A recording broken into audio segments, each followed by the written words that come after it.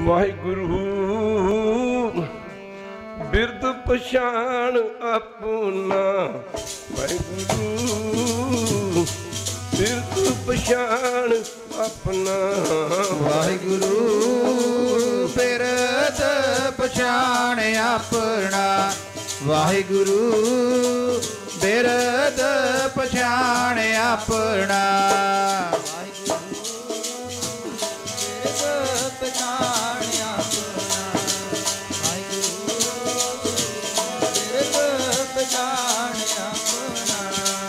ਵਾਹਿਗੁਰੂ, ਬਿਰਤ ਪਛਾਣ ਆਪਣਾ। ਵਾਹਿਗੁਰੂ, ਬਿਰਤ ਪਛਾਣ ਆਪਣਾ। ਵਾਹਿਗੁਰੂ ਬਿਰਦ ਪਛਾਣ ਆਪਣਾ। ਵਾਹਿਗੁਰੂ ਬਿਰਦ ਪਛਾਣ ਆਪਣਾ। ਵਾਹਿਗੁਰੂ ਬਿਰਦ ਪਛਾਣ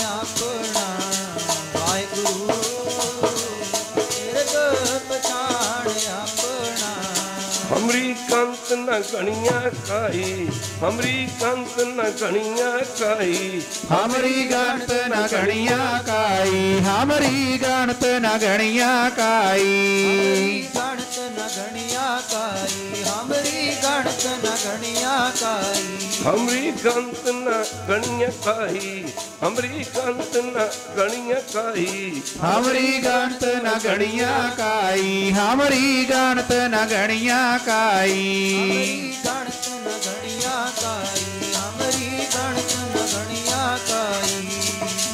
ਕੰਤ ਨ ਗਣੀਆਂ ਕਾਈ ਹਮਰੀ ਕੰਤ ਨ ਗਣੀਆਂ ਕਾਈ। ਹਮਰੀ ਗਣਤ ਨ ਗਣੀਆਂ ਕਾਈ। ਹਮਰੀ ਗਣਤ ਨ ਗਣੀਆਂ ਕਾਈ ਗਣਤ ਨ ਗਣਿਆ ਕਾਈ। ਹਮਰੀ ਗਣਤ ਨ ਗਣਿਆ ਕੰਤ ਨ ਗਣੀਆਂ ਕਾਈ ਹਮਰੀ ਕੰਤ ਨ ਗਣੀਆਂ ਕੰਤ ਨ ਗਣੀਆਂ ਕਾਈ ਹਮਰੀ ਕੰਤ ਨ ਗਣੀਆਂ ਕਾਈ ਗਣਤ ਨ ਗਣੀਆਂ ਕਾਈ ਹਮਰੀ ਗਣਤ ਨ ਗਣੀਆਂ ਕਾਈ ਗਣਤ ਨ ਗਣੀਆਂ ਕਾਈ ਹਮਰੀ ਗਣਤ ਨ ਗਣੀਆਂ ਕਾਈ ਗਣਤ ਨ ਗਣਿਆ ਕਾਈ ਹਮਰੀ ਗਣਤ ਨ ਗਣਿਆ ਕਾਈ ਗਣਤ ਨ ਗਣਿਆ ਕਾਈ ਹਮਰੀ ਗਣਤ ਨ ਗਣਿਆ ਕਾਈ। ਹਮਰੀ ਕੰਤ ਨ ਗਣੀਆਂ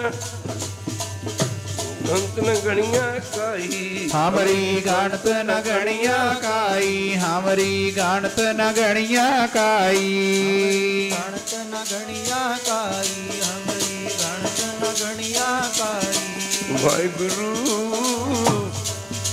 ਪਛਾਣ ਆਪਣਾ ਵਾਹਿਗੁਰੂ। ਬਿਰਤ ਪਛਾਣ ਆਪਣਾ। ਵਾਹਿਗੁਰੂ ਬਿਰਦ ਪਛਾਣ ਆਪਣਾ। ਵਾਹਿਗੁਰੂ ਬਿਰਦ ਪਛਾਣ ਆਪਣਾ।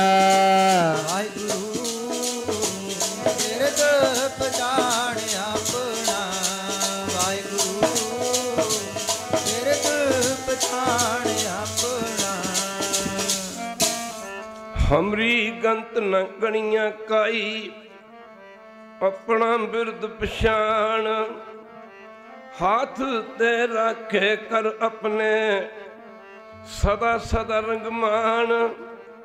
ਸਾਚਾ ਸਹਿਬ ਸਦ ਮਿਹਰਵਾਨ, ਬੰਦ ਪਾਇਆ ਮੇਰੇ ਤਤ ਗੁਰ ਪੂਰੈ ਹੋਈ ਸਰਬ ਕਲਿਆਣ ਜੀਉ ਪਾਏ ਪਿੰਡ ਜਿਨ ਸਾਜਿਆ, ਦਿੱਤਾ ਪੈਨਨ ਖਾਣ। ਆਪਣੇ ਦਾਸ ਕੀ ਆਪ ਪੈਜ ਰਾਖੀ, ਨਾਨਕ ਸਦ ਕੁਰਬਾਨ। ਵਾਹਿਗੁਰੂ ਬਿਰਦ ਪਛਾਣ ਆਪਣਾ ਵਾਹਿਗੁਰੂ ਬਿਰਦ ਪਛਾਣ ਆਪਣਾ। ਵਾਹਿਗੁਰੂ ਬਿਰਦ ਪਛਾਣ ਆਪਣਾ। ਵਾਹਿਗੁਰੂ ਬਿਰਦ ਪਛਾਣ ਆਪਣਾ।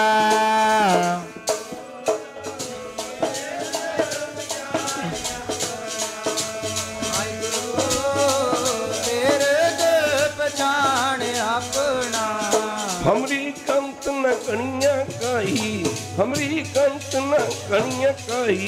हमरी गणत न गणिया काई हमरी गणत न गणिया काई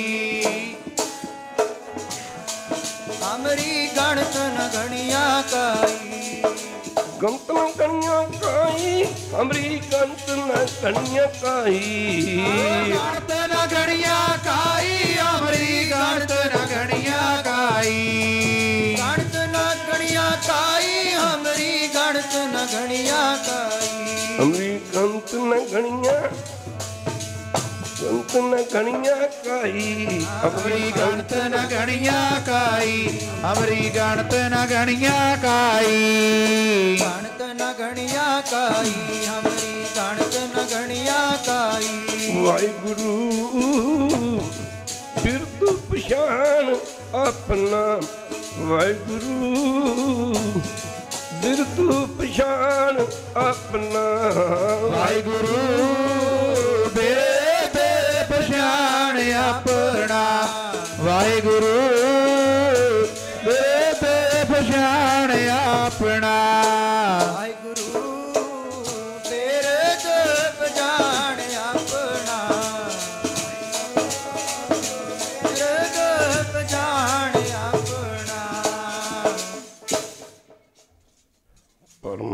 ਸਤਕਾਰਯੋਗ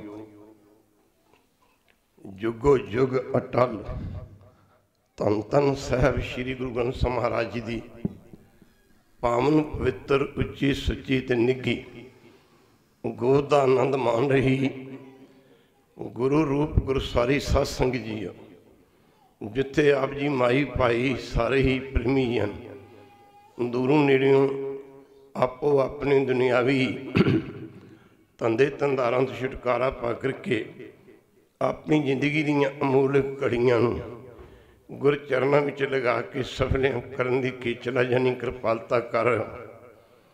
ਉੱਥੇ ਸਾਹਿਬ ਸਤਿਗੁਰੂ ਨਾਨਕ ਦੇਵ ਮਹਾਰਾਜ ਜੀ ਦੇ ਸਾਢੇ 500 ਸਾਲਾ ਪ੍ਰਗਾਸ਼ ਦਿਵਸ ਜੋ 2019 ਦੇ ਵਿੱਚ ਆ ਰਹੇ ਨੇ, ਉਸ ਦੇ ਸੰਬੰਧ ਵਿੱਚ ਇਹ ਪ੍ਰੋਗਰਾਮ ਰੱਖਿਆ। ਸਿੱਖੀ ਦੀ ਨੀਂਹ ਸਾਧ ਸੰਗਤ ਭਾਵੇਂ ਗੁਰੂ ਨਾਨਕ ਸਾਹਿਬ ਦੇ ਸਮੇਂ ਹੀ ਰੱਖੀ ਗਈ ਸੀ। ਦੁਨੀਆ ਦੇ ਵਿੱਚ ਗੁਰੂ ਨਾਨਕ ਪਾਤਸ਼ਾਹ ਵਰਗਾ ਆਰਸ਼ ਨਾ ਕੋਈ ਆ- ਆਇਆ ਤੇ ਨਾ ਕਿਸੇ ਨੇ ਆਉਣਾ ਹੈ। ਗੁਰੂ ਕੀ ਸੰਗਤ, ਅਸੀਂ ਗੁਰਪੁਰਬ ਵੀ ਮਨਾਉਂਦੇ ਹਾਂ, ਪ੍ਰਗਾਸ਼ ਦਿਵਸ ਵੀ ਮਨਾਉਂਦੇ ਹਾਂ। ਸਾਡਾ ਇੱਕੋ ਪ੍ਰਯੋਜਨ ਹੈ, ਇੱਕੋ ਉਦੇਸ਼ ਹੈ। ਪਰ ਪ੍ਰਯੋਜਨ ਕੀ ਹੈ ਕਿ ਤੁਹਾਨੂੰ ਲੋਕ ਕੋਈ ਕਹਿੰਦੇ ਨੇ ਵੀ ਸਮਝਣ ਬਈ ਇਹ ਬੜੇ ਚੰਗੇ ਨੇ ਜਿਨ੍ਹਾਂ ਗੁਰਪੁਰਬ ਮਨਾਇਆ ਪ੍ਰਕਾਸ਼ ਦਿਵਸ ਮਨਾਇਆ। ਵੈਸੇ ਤਾਂ ਤੁਸੀਂ ਧੰਤਾ ਦੇ ਯੋਗ ਹੋ। ਵਡ ਭਾਗੀ ਤਿੰਨਾਂ ਗੁਰਸਿੱਖਾਂ ਪਾਏ ਭਗਤ ਗੁਰ ਪੁਰਬ ਕਰਨ ਦੇ। ਭਾਈ ਗੁਰਦਾਸ ਜੀ ਫਰਮਾਉਂਦੇ ਨੇ, ਮੈਂ ਉਹਨਾਂ ਗੁਰਸਿੱਖਾਂ ਤੋਂ ਮਲਿਹਾਰ ਜਾਣਾ ਜਿਹੜੇ ਸ਼ਰਧਾ ਰੱਖ ਕੇ ਸਤਿਗੁਰ ਪਾਤਸ਼ਾਹ ਦੀ ਪ੍ਰਗਾਸ਼ ਦਿਵਸ ਜਾਂ ਗੁਰਪੁਰਬ ਮਨਾਉਂਦੇ ਨੇ। ਪਰ ਗੁਰੂ ਕੀ ਸੰਗਤ, ਅਸੀਂ ਜਿਤਨੇ ਵੀ ਇੱਥੇ ਬੈਠੇ ਹਾਂ, ਜੇ ਸਾਨੂੰ ਪਤਾ ਲੱਗ ਜੇ, ਦੁਨੀਆ ਦੇ ਵਿੱਚ ਸਭ ਤੋਂ ਡਾਕੂ ਵੱਡਾ ਡਾਕੂ, ਦੁਨੀਆ ਤੇ ਸਭ ਤੋਂ ਵੱਡਾ ਚੋਰ, ਦੁਨੀਆ ਤੇ ਸਭ ਤੋਂ ਵੱਡਾ ਠੱਗ, ਜੇ ਹੈ ਤਾਂ ਉਹ ਨਾਮ ਜਪਣ ਵਾਲਾ ਖਾਲਸਾ ਜੀ ਇੱਕ ਵਾਰੀ ਕਹਿ ਦੇ ਵੈਰ ਚੋਰ ਤਾਂ ਛੋਟੇ ਮੋਟੇ ਘਰਾਂ ਨੂੰ ਸੰਨ ਲਾਉਂਦੇ ਨੇ, ਡਾਕੂ ਵੀ ਛੋਟੇ ਮੋਟੇ ਘਰਾਂ ਨੂੰ ਲੁੱਟਦੇ ਨੇ। ਪਰ ਸਾਧ ਸੰਗ ਜੇਕਰ ਵਿਚਾਰ ਕਰਕੇ ਵੇਖਿਆ ਜਾਵੇ, ਇੱਕ ਨਾਮ ਦੇ ਜਪਣ ਵਾਲਾ ਜਿਹਨੇ ਰੱਬ ਦੇ ਘਰ ਨੂੰ ਸੰਨ ਲਾਈ ਹੋਈ, ਖਾਲਸਾ ਜੀ। ਮਾਫ ਕਰਨਾ ਗੁਰੂ ਕੀ ਸੰਗਤ, ਨਾਮ ਜਪਣ ਦਾ ਮਤਲਬ ਹੀ ਹੈ ਕਿ ਪਰਮੇਸ਼ਰ ਦਾ ਹੋ ਜਾਣਾ। ਭਗਤੀ ਦੋ ਤੋਂ ਸ਼ੁਰੂ ਹੁੰਦੇ। ਭਗਤ ਭਗਵਾਨ ਤੋਂ ਮਰੀਦ ਮੁਰਸ਼ਿਦ, ਤੋਂ ਸਿੱਖ ਗੁਰੂ ਤੋਂ। ਭਗਤੀ ਕਰਦੇ ਕਰਦੇ ਭਗਤ ਨੇ ਭਗਵਾਨ ਦਾ ਰੂਪ। ਮਾਫ ਕਰਨਾ, ਮਰੀਦ ਨੇ ਮੁਰਸ਼ਿਦ ਦਾ ਰੂਪ ਤੇ ਸਿੱਖ ਨੇ ਗੁਰੂ ਦਾ ਰੂਪ ਹੋ ਜਾਣਾ ਹੈ। ਐਵੇਂ ਥੋੜਾ ਦਸ਼ਮੇਸ਼ ਜੀ ਨੇ ਕਿਹਾ ਸੀ, ਭਾਈ ਦਇਆ ਸਿੰਘ ਜੀ, ਅੰਮ੍ਰਿਤ ਛਕ ਕੇ ਤੁਸੀਂ ਮੇਰੇ ਸਿੰਘ ਤਾਂ ਸੱਜ ਗਏ ਹੋ। ਪਰ ਜਦੋਂ ਅੰਮ੍ਰਿਤ ਵੇਲੇ ਉੱਠ ਕੇ ਨਿਤ ਰੋਜ਼ ਦਾ ਇਸ਼ਨਾਨ ਕਰਨ ਤੋਂ ਬਾਅਦ ਤੁਸੀਂ ਨਿਤ ਰੋਜ਼ ਦਾ ਜਦੋਂ ਨਿਤਨੇਮ ਕਰਿਆ ਕਰੋਗੇ, ਉਸ ਤੋਂ ਬਾਅਦ ਜਦੋਂ ਤੁਸੀਂ ਸ਼ੀਸ਼ੇ 'ਚ ਆਪਣਾ ਮੂੰਹ ਵੇਖਿਆ ਕਰੋਗੇ ਨਾ, ਜਿਵੇਂ ਦੁੱਧ ਦੇ ਉੱਤੇ ਮਲਾਈ ਆ ਜਾਂਦੀ, ਇਵੇਂ ਤੁਹਾਨੂੰ ਤੁਹਾਡੇ ਸਰੂਪ ਤੋਂ ਮੇਰੇ ਸਰੂਪ ਦੇ ਦਰਸ਼ਨ ਹੋਇਆ ਕਰਨਗੇ। ਖਾਲਸੋ ਹੂੰ ਮੈਂ, ਮੇਰਾ ਰੂਪ ਖਾਸ, ਖਾਲਸੋ ਹੂੰ ਮੈਂ, ਕਰੋ ਨਿਵਾਸ। ਮਾਫ ਕਰਨਾ ਗੁਰੂ ਕੀ ਸੰਗਤ, ਜਦੋਂ ਕਿਸੇ ਨੂੰ ਗੁੱਸਾ ਆਉਂਦਾ, ਕਈ ਕਹਿੰਦੇ, ਕੈਸੇ ਹੋ ਸਕਦਾ? ਜਦੋਂ ਗੁੱਸਾ ਆਉਂਦਾ, ਆਪਣਾ ਮੂੰਹ ਵੇਖਿਆ ਕਰੋ, ਸ਼ੀਸ਼ੇ 'ਚ ਵੀ ਤੁਸੀਂ ਹੋ ਕਿ ਕੋਈ ਹੋਰ ਆ ਗਿਆ। ਜਦੋਂ ਤੁਸੀਂ ਬਹੁਤ ਖੁਸ਼ ਹੁੰਦੇ ਹੋ, ਤੁਹਾਡੇ ਚਿਹਰੇ ਤੋਂ ਪਤਾ ਲੱਗ ਜਾਂਦਾ ਤੁਸੀਂ ਬੜੇ ਖੁਸ਼ ਹੋ। ਮਾਫ ਕਰਨਾ ਗੁਰੂ ਕੀ ਸੰਗਤ, ਲੋਕ ਪੁੱਛਦੇ ਨੇ, ਭਰਾਵਾ, ਕੀ ਗੱਲ ਬੜਾ ਖੁਸ਼ ਨਜ਼ਰ ਆ ਰਹੇ ਉਹ ਭਰਾ, ਕੀ ਦੱਸਾਂ? ਮੇਰਾ ਕਈ ਸਾਲਾਂ ਦਾ ਰੁਕਿਆ ਕੰਮ ਅੱਜ ਸਿਰੇ ਚੜ ਗਿਆ। ਜਾਂ ਮੇਰਾ ਲੜਕਾ ਮੈਟ ਲਿਸਟ 'ਚ ਆ ਗਿਆ। ਜੇ ਕੋਈ ਬੰਦਾ ਬਿਮਾਰ ਪਿਆ ਹੋਵੇ, ਪਤਾ ਲੈਣ ਵਾਸਤੇ ਜਾਈਏ ਪੁੱਛੀ, ਭਾਈ ਸਾਹਿਬ ਜੀ, ਕੀ ਗੱਲ ਹੈ? ਕੀ ਹਾਲ ਹੈ? ਮਾਫ ਕਰਨਾ।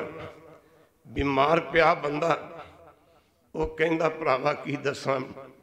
ਟਾਈਫਾਇਡ ਹੀ ਖੜਾ ਨਹੀਂ ਛੱਡਦਾ। ਜੇ ਗੁੱਸੇ ਦਾ ਪਤਾ ਚਿਹਰੇ ਤੋਂ ਲੱਗ ਸਕਦਾ, ਜੇ ਮਾਫ ਕਰਨਾ ਗੁਰੂ ਕੀ ਸੰਗਤ ਗਮੀ ਦਾ ਪਤਾ ਚਿਹਰੇ ਤੋਂ ਲੱਗ ਸਕਦਾ, ਖੁਸ਼ੀ ਦਾ ਪਤਾ ਚਿਹਰੇ ਤੋਂ ਲੱਗ ਸਕਦਾ ਕਦੇ ਬਾਣੀ ਪੜ੍ਹ ਕੇ ਵੇਖਿਆ ਕਰੋ, ਅੰਮ੍ਰਿਤ ਵੇਲੇ ਨਾ ਇਸ਼ਨਾਨ ਕਰਨ ਤੋਂ ਪਹਿਲਾਂ ਆਪਣੀ ਇੱਕ ਫੋਟੋ ਖਿਚਵਾਓ। ਸੰਨਾਬ ਕਹਿ ਦਿੰਦੇ ਨੇ, ਇੱਕ ਫੋਟੋ ਇਸ਼ਨਾਨ ਕਰਕੇ ਕਰਵਾਓ, ਇੱਕ ਫੋਟੋ ਨਿਤਨੇਮ ਕਰਕੇ ਕਰਵਾਓ।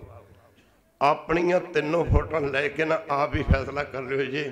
ਜੇ ਤੁਹਾਡੀਆਂ ਤਿੰਨਾਂ ਫੋਟੋਆਂ ਦੇ ਵਿੱਚ ਫ਼ਰਕ ਨਾ ਹੋਵੇ ਤੇ ਫਿਰ ਗੱਲ ਕੀ ਬਣੀ ਖਾਲਸਾ ਜੀ?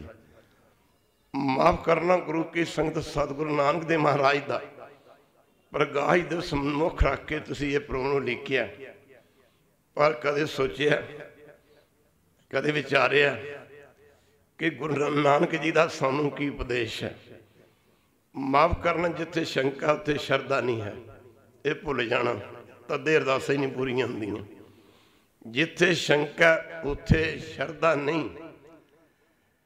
ਪਰ ਜਿੱਥੇ ਸ਼ਰਧਾ ਉੱਥੇ ਸ਼ੰਕਾ ਨਹੀਂ। ਮੜੇ ਸਨ ਗੁਰੂ ਨਾਨਕ ਸਾਹਿਬ ਦੇ ਚਰਨਾਂ ਵਿੱਚ ਸ਼ੰਕਾ ਕਰਨ ਵਾਲੇ। ਜੇਕਰ ਵਿਚਾਰ ਕਰਕੇ ਵੇਖੀਏ ਤਾਂ ਸਾਧ ਸੰਗਤ ਜੀ ਬਾਬਾ ਲੈਣਾ ਜੀ ਜਦੋਂ ਗੁਰੂ ਨਾਨਕ ਦੇ ਚਰਨਾਂ ਵਿੱਚ ਲੱਗੇ ਸਿੱਖ ਰੂਪ ਹੋ ਕੇ ਲੱਗੇ। ਇੱਕ ਵਾਰੀ ਕਹਿ ਦਿਓ ਬਹਿਰ ਵਾਹਿਗੁਰੂ। ਬੜੇ ਬੜੇ ਸਿੱਖ ਆਏ ਸਨ ਗੁਰੂ ਨਾਨਕ ਸਾਹਿਬ ਦੇ ਚਰਨਾਂ ਵਿੱਚ। ਪਰ ਬਾਬਾ ਲੈਣਾ ਜੀ ਨੇ ਆਪਣੀ ਜ਼ਿੰਦਗੀ ਦਾ 7.5 ਸਾਲ ਦਾ ਸਮਾਂ ਗੁਰੂ ਨਾਨਕ ਦੇ ਚਰਨਾਂ 'ਚ ਬਿਤਾਇਆ ਹੈ। ਬੜੇ ਅਮੀਰ ਘਰਾਣੇ ਦੇ ਸਨ। ਤੇ ਜਦੋਂ ਗੁਰੂ ਕੀ ਸੰਗਤ ਗੁਰੂ ਨਾਨਕ ਪਾਤਸ਼ਾਹ ਦੇ ਦਰਸ਼ਨ ਕਰਨ ਵਾਸਤੇ ਜਾਇਆ ਕਰਦੇ ਸਨ, ਘੋੜੀ ਤੇ ਸਵਾਰ ਹੋ ਕੇ ਜਾਣਾ। ਪਰ ਗੁਰੂ ਕੀ ਸੰਗਤ ਸ਼ੰਕਾ ਨਹੀਂ ਹੈ ਕਿ ਸ਼ੰਕਾ ਇਸ ਕਰਕੇ ਨਹੀਂ ਕੀ ਸ਼ਰਧਾ ਪਰ ਸਾਧ ਸੰਗਤ ਜੀ ਇੱਕ ਸਮੇਂ ਗੁਰੂ ਨਾਨਕ ਪਾਤਸ਼ਾਹ so many time explain satsang ਕੀਰਤਨ ਉਹਨਾਂ ਗੱਲਾਂ ਨੂੰ ਤੇ ਅਸੀਂ ਭੁੱਲ ਹੀ ਗਏ ਮੈਂ ਕਈ ਵਾਰੀ ਕਈ ਮਹਾਪੁਰਖਾਂ ਨੂੰ ਕਈ ਨਾ ਬੇਨਤੀ ਕਰਦਾ ਤੁਸੀਂ ਤਾਂ ਗੁਰੂ ਨਾਨਕ ਸਾਹਿਬ ਨੂੰ ਇਸ ਤਰ੍ਹਾਂ ਦਾ ਦਿਖਾ ਦਿੱਤਾ ਜਿਵੇਂ ਗੁਰੂ ਨਾਨਕ ਸਾਹਿਬ ਨੇ ਕਦੀ ਕਦੀ ਪਲੰਗੇ ਤੋਂ, ਕਦੇ ਮੰਜੇ ਤੋਂ ਪੁੰਜੇ ਪੈਰ ਹੀ ਨਹੀਂ ਲਾਇਆ ਹੁੰਦਾ। ਸਾਨੂੰ ਤੇ ਉਸ ਗੁਰੂ ਨਾਨਕ ਦਾ ਕੋਈ ਸਰੂਪ ਬਣਾ ਕੇ ਦਿਓ, ਜਿੱਥੇ ਬਾਬਾ ਨਾਨਕ ਕਿਤੇ ਹਲਵਾਉਂਦਾ ਫਿਰਦਾ ਸੀ। 40 ਵਰੇ ਮਾਫ ਕਰਨਾ 22 ਵਰੇ। ਕਰਤਾਰਪੁਰ ਦੀ ਧਰਤੀ ਦੇ ਹੱਥੀ ਹਲ ਵਾਹੁਣਾ ਬੜੀ ਖੁਸ਼ੀ ਦੀ ਗੱਲ ਹੁੰਦੀ ਜਦੋਂ ਪੜ੍ਹੇ ਲਿਖੇ ਸੱਜਣ ਬੈਠੇ ਹੁੰਦੇ ਨੇ। ਕਿਰਤ ਵਿਰਤ ਕਰ ਧਰਮ ਦੀ ਹੱਥੋਂ ਦੇ ਕੇ ਭਲਾ ਮਨਾਏ। ਕਿਰਤ ਵਿਰਤ ਕਰ ਧਰਮ ਦੀ ਧਰਮ ਦੀ ਹੱਥੋਂ ਦੇ ਕੇ ਭਲਾ ਮਨਾਏ। ਇਹ ਜਮਾਨਾ ਗੁਰੂ ਨਾਨਕ ਸਾਹਿਬ ਦਾ ਵੇਖਣ ਵਾਲਾ ਸੀ। ਚਾਰ ਉਦਾਸੀਆਂ ਲਾਈਆਂ ਨੇ। ਪੂਰਬ, ਪੱਛਮ, ਉੱਤਰ, ਦੱਖਣ। ਪਰ ਜਦੋਂ ਆਖਰੀ ਜ਼ਿੰ- ਜ਼ਿੰਦਗੀ ਦੇ ਆਖਰੀ ਦਿਹਾੜੇ ਬਤਾਏ ਨੇ, ਉਹ ਕਰਤਾਰਪੁਰ ਦੀ ਧਰਤੀ ਤੇ ਮਾਫ ਕਰਨਾ ਬਤਾਏ ਨੇ, ਉਹ ਕਿਹੋ ਜਿਹਾ ਜਮਾਨਾ ਸੀ ਵੇਖਣ ਵਾਲਾ? ਜਦੋਂ ਸੰਗਤਾਂ ਰਾਸ਼ਨ ਲੈ ਕੇ ਜਾਂਦੀਆਂ ਸਨ, ਹੁਕਮ ਸੀ ਬਾਬਾ ਲੈਣਾ ਜੀ ਵਰਗਿਆਂ ਨੂੰ, ਇਹ ਰਾਸ਼ਨ ਦਰਿਆਏ ਰਾਵੀ ਦੇ ਵਿੱਚ ਰੋੜ ਦਿਓ। ਉਹ ਰਾਸ਼ਨ ਵਰਤਿਆ ਜਾਂਦਾ ਸੀ ਲੰਗਰਾਂ ਦੇ ਵਿੱਚ ਜੋ ਗੁਰੂ ਨਾਨਕ ਪਾਤਸ਼ਾਹ ਜੀ ਹੱਥੀ ਕਿਰਤ ਕਰਕੇ ਲੰਗਰ ਹਲ ਚਲਾ ਕੇ ਮਾਫ ਕਰਨਾ ਗੁਰੂ ਕੀ ਸੰਗਤ ਪੈਦਾ ਕਰਦੇ ਸਨ। ਕਿਤੇ ਉਹ ਵੀ ਗੁਰੂ ਨਾਨਕ ਸਾਹਿਬ ਦਿਖਾ ਦਿਓ ਜਿਹੜਾ ਕਦੀ ਗਾਦੀ ਤੇ ਬੈਠਾ ਬਲਦਾਂ ਨੂੰ ਹੱਕਦਾ ਸੀ।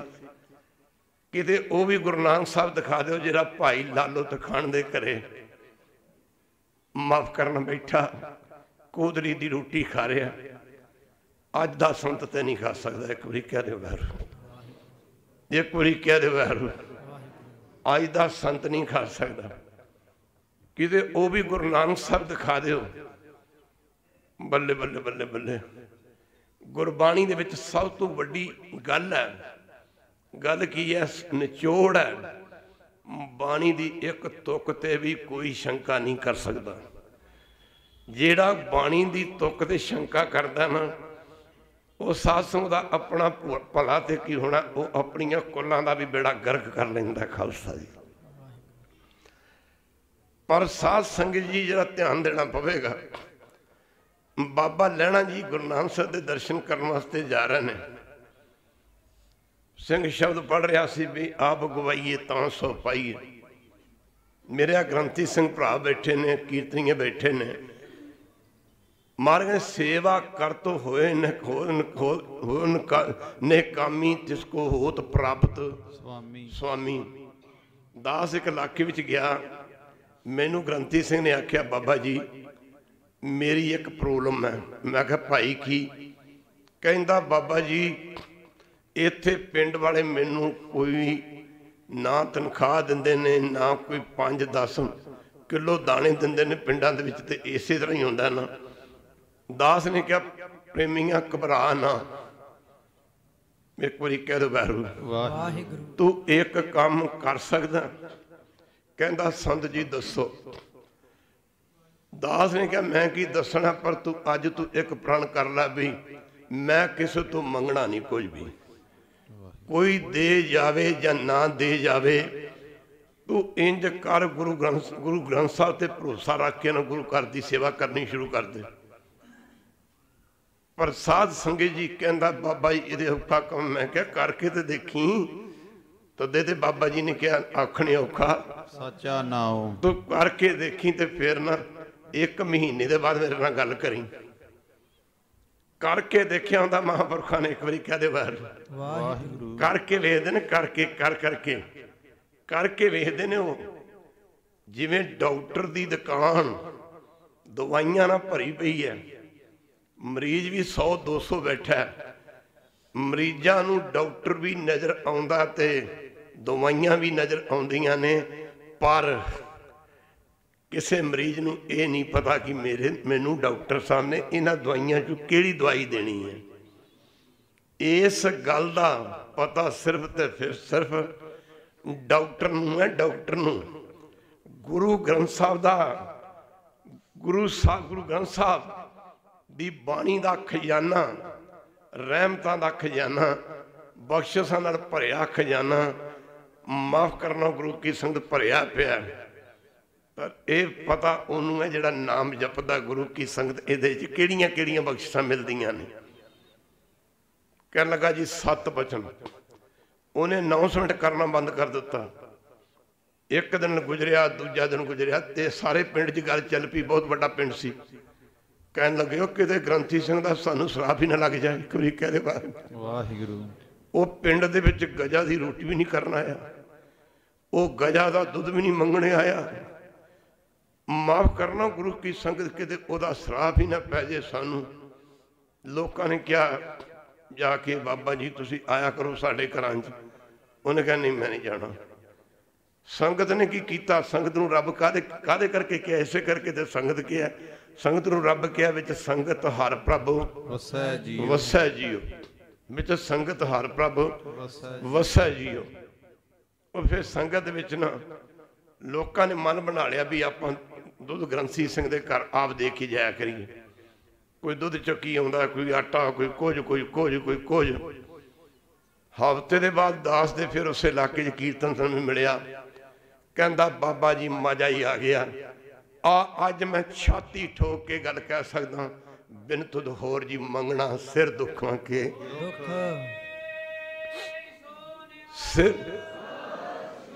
ਮਾਫ ਕਰਨਾ ਗੁਰੂ ਕੀ ਸੰਗਤ ਬਿਨ ਤੁਧ ਹੋਰ ਜੇ ਮੰਗਣਾ ਸਿਰ ਦੁੱਖਾਂ ਕੇ ਦੁੱਖ ਦਿਓ ਨਾਮ ਸੰਤੋਖੀਆ ਉਤਰੇ ਮਨ ਦੀ ਭੁੱਖ। ਕਹਿੰਦਾ ਬਾਬਾ ਜੀ ਤੁਸੀਂ ਨਾ ਮੇਰਾ ਜੀਵਨ ਹੀ ਬਦਲ ਦਿੱਤਾ। ਉਹ ਮੈਂ ਕਿਹਾ ਭਰਾ ਮੈਂ ਤੇਰਾ ਜੀਵਨ ਕੀ ਬਦਲਣਾ? ਜੀਵਨ ਤਾਂ ਬਦਲਿਆ।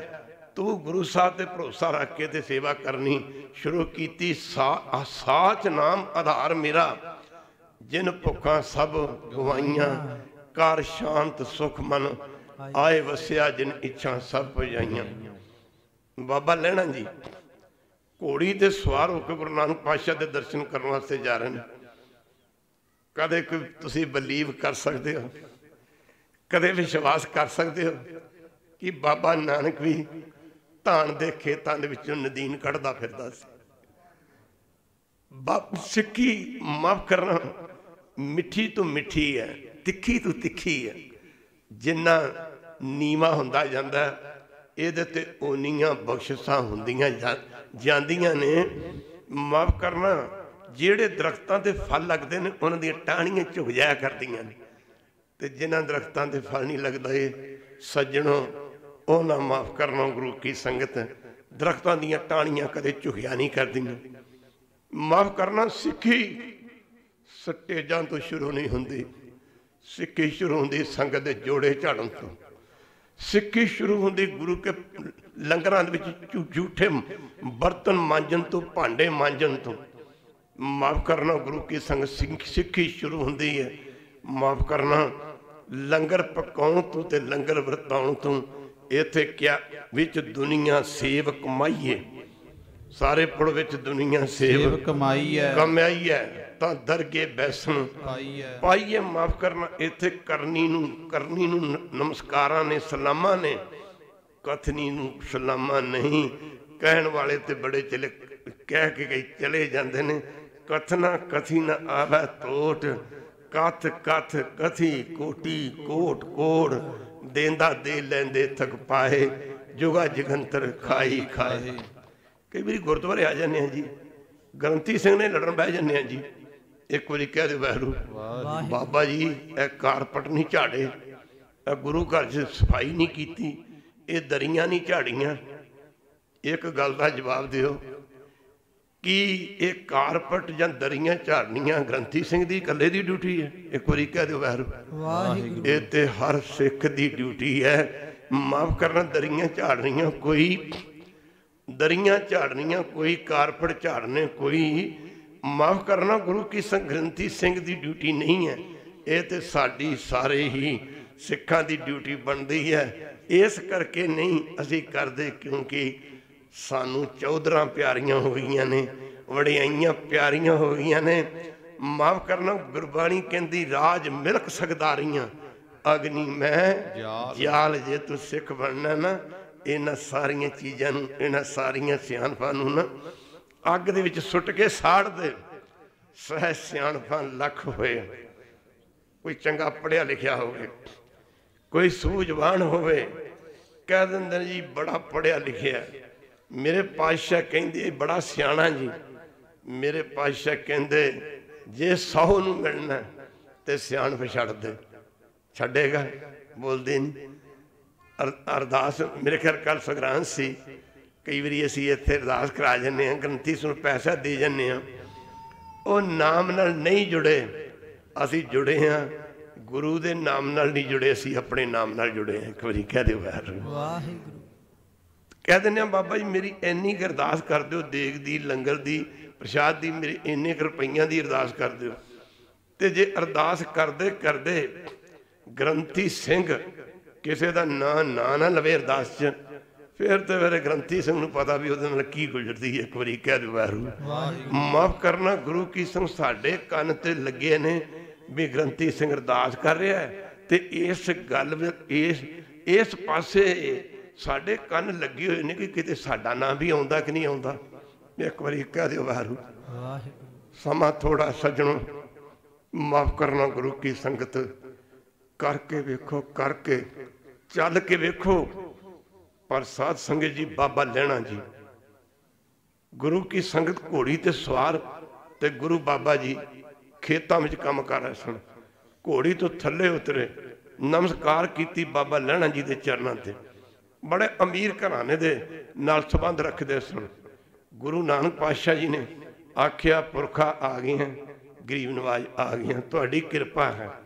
ਚੱਲ ਬਈ ਆ ਨਦੀਨ ਦੀ ਘਾਹ ਫੂਸ ਦੀ ਪੰਡ ਹੈ ਜਿਹੜੀ, ਬੰਨ ਕੇ ਬਾਬਾ ਲਹਿਣਾ ਜੀ ਦੇ ਸਿਰ ਤੇ ਰੱਖ ਦਿੱਤੀ ਤੇ ਆਖਿਆ, ਚੱਲ ਘਰ ਨੂੰ ਚਲੀ ਗਏ ਬਾਬਾ ਲਹਿਣਾ ਜੀ, ਅਸੀਂ ਵੀ ਸਾਡਾ ਵੀ ਦੁਨੀਆ 'ਚ ਵਾਹ ਪੈਂਦਾ ਜੀ, ਬੜਾ ਵਾਹ ਪੈਂਦਾ ਗੁਰੂ ਕੀ ਸੰਗਤ ਬੜੀ ਦੁਨੀਆ ਦੇਖੀ ਔਰ ਬੜੇ ਬੰਦੇ ਦੇਖੇ ਜੇ ਕਿਸੇ ਆਏ ਨੂੰ ਨਾ, ਚਾਹ ਪਾਣੀ ਨਾ ਨਾ ਪੁੱਛੋ। ਕਹਿੰਦਾ ਜੀ, ਅਸੀਂ ਤੇ ਸਥਾਨ ਤੇ ਗਏ ਸੀ। ਸਾਡੀ ਤੇ ਕਿਸੇ ਨੇ ਬਾਤ ਹੀ ਨਹੀਂ ਪੁੱਛੀ, ਇੱਕ ਵਾਰੀ ਕਹਿ ਦੇ ਵੈਰੂ ਸਾਡੀ ਤੇ ਕਿਸੇ ਨੇ ਬਾਤ ਹੀ ਨਹੀਂ ਪੁੱਛੀ, ਬਾਤ। ਬਾਬਾ ਲੈਣਾ ਜੀ ਕਹਿੰਦੇ ਨੇ ਘਾਹ ਫੂਸ ਦੀ ਘਾਹ ਦੀ ਪੰਡ ਸਿਰ ਤੇ ਚੱਕੀ। ਗੁਰੂ ਨਾਨਕ ਪਾਤਸ਼ਾਹ ਦੇ ਪਿੱਛੇ ਲੱਗ ਤੁਰੇ। ਗੁਰੂ ਨਾਨਕ ਪਾਤਸ਼ਾਹ ਘੋੜੀ ਤੇ ਸਵਾਰ ਹੋ ਕੇ ਜਾ ਰਹੇ ਨੇ। ਗੁਰੂ ਕੇ ਮਹਿਲ ਮਾਤਾ ਸੁਲੱਖਣੀ ਚੋਣੀ ਵੀ ਕਹਿ ਦਿੰਦੇ ਨੇ। ਤੇ ਬਾਬਾ ਲੈਣਾ ਜੀ ਦੇ ਸਿਰ ਤੇ ਉਹ ਘਾਹ ਫੂਸ ਦੀ ਪੰਡ ਵੇਖ ਕੇ ਕਹਿਣ ਲੱਗੇ, ਗੁਰੂ ਨਾਨਕ ਪਾਤਸ਼ਾਹ ਵੀ ਆਹ ਚੰਗਾ ਕੰਮ ਕਰਦੇ ਹੋ ਤੁਸੀਂ। ਤੁਸੀਂ ਸਿੱਖਾਂ ਦੀ ਸ਼ਰਧਾ ਰਹਿਣ ਦੇਣੀ ਕਿ ਨਹੀਂ ਰਹਿਣ ਦੇਣੀ? ਆਖਿਆ, ਦੇਖੋ ਲੈਣਾ ਜੀ ਦੇ ਚਿੱਟੇ ਦੁੱਧ ਵਰਗੇ ਕੱਪੜੇ ਭਰ ਗਏ ਨੇ। ਪਾਣੀ ਚੋ ਚੋ ਕੇ ਪਾਣੀ ਦੇ ਨਾਲ ਪਾਣੀ ਵੀ ਮੈਲਾ। ਗੁਰੂ ਕੀ ਸੰਗਤ ਤੇ ਕੱਪੜੇ ਭਿੱਜ ਗਏ, ਭਰ ਗਏ ਨੇ। ਪਰ ਮਾਫ ਕਰਨਾ ਗੁਰੂ ਕੀ ਸੰਗਤ ਤੁਸੀਂ ਘੋੜੀ ਤੇ ਤੇ ਇਹ ਪੈਦਲ ਸਿਰ ਤੇ ਘਾਹ ਦੀ ਪੰਡ ਚੁੱਕ ਕੇ ਆ ਰਿਹਾ ਮੇਰੇ ਪਾਤਸ਼ਾਹ ਕਹਿੰਦੇ, ਚੋਣੀ, ਇਹ ਘਾਹ ਦੀ ਪੰਡ ਨਹੀਂ, ਇਹ ਜ਼ਿੰਮੇਵਾਰੀਆਂ ਦੀ ਪੰਡ ਹੈ। ਇਹ ਜ਼ਿੰਮੇਵਾਰੀਆਂ ਦੀ ਪੰਡਾ ਮਾਫ ਕਰਨਾ ਗੁਰੂ ਕੀ ਸੰਗਤ, ਮਾਫ ਕਰਨਾ। ਕਦੇ ਸਮਾਂ ਆਉਣ ਤੇ ਤੈਨੂੰ ਇਸ ਪੰਡ ਦੀ ਕੀਮਤ ਦਾ ਪਤਾ ਆਪਣੇ ਆਪ ਹੀ ਲੱਗ ਜਾਏਗਾ। ਪਰ ਮਾਫ ਕਰਨਾ ਜੋ ਜੀ ਪ੍ਰੀਤਮ ਜਾ ਰਹੇ ਨੇ? ਮੈਂ ਮੂਰਖ ਕੀ ਕੇਤਕ ਬਾਤ ਹੈ? ਕੋਟ ਪਰਾਦੀ ਤਰਿਆ ਰੇ ਗੁਰੂ ਨਾਨਕ ਜਿਨ ਸੁਣਿਆ ਪੇਖਿਆ ਸੇ ਫਿਰ ਗੁਰਬਾਸ ਨਾ ਭਰਿਆ ਰੇ। ਜਾਂਦੇ ਜਾਂਦੇ ਕਿੰਨ ਕਿੰਨੀਆਂ ਕਸਵਟੀਆਂ ਦੇ ਵਿੱਚੋਂ ਬਾਬਾ ਲੈਣਾ ਜੀ ਨੂੰ ਕੱਢਿਆ। ਮਾਫ ਕਰਨ ਬੱਚੇ ਸਕੂਲਾਂ ਤੇ ਕਾਲਜਾਂ 'ਚ ਪੜ੍ਹਦੇ ਨੇ। ਪਰ ਮੈਟਾਂ ਵੀ ਬੜਿਆਂ ਦੀਆਂ ਆ ਜਾਂਦੀਆਂ ਨੇ।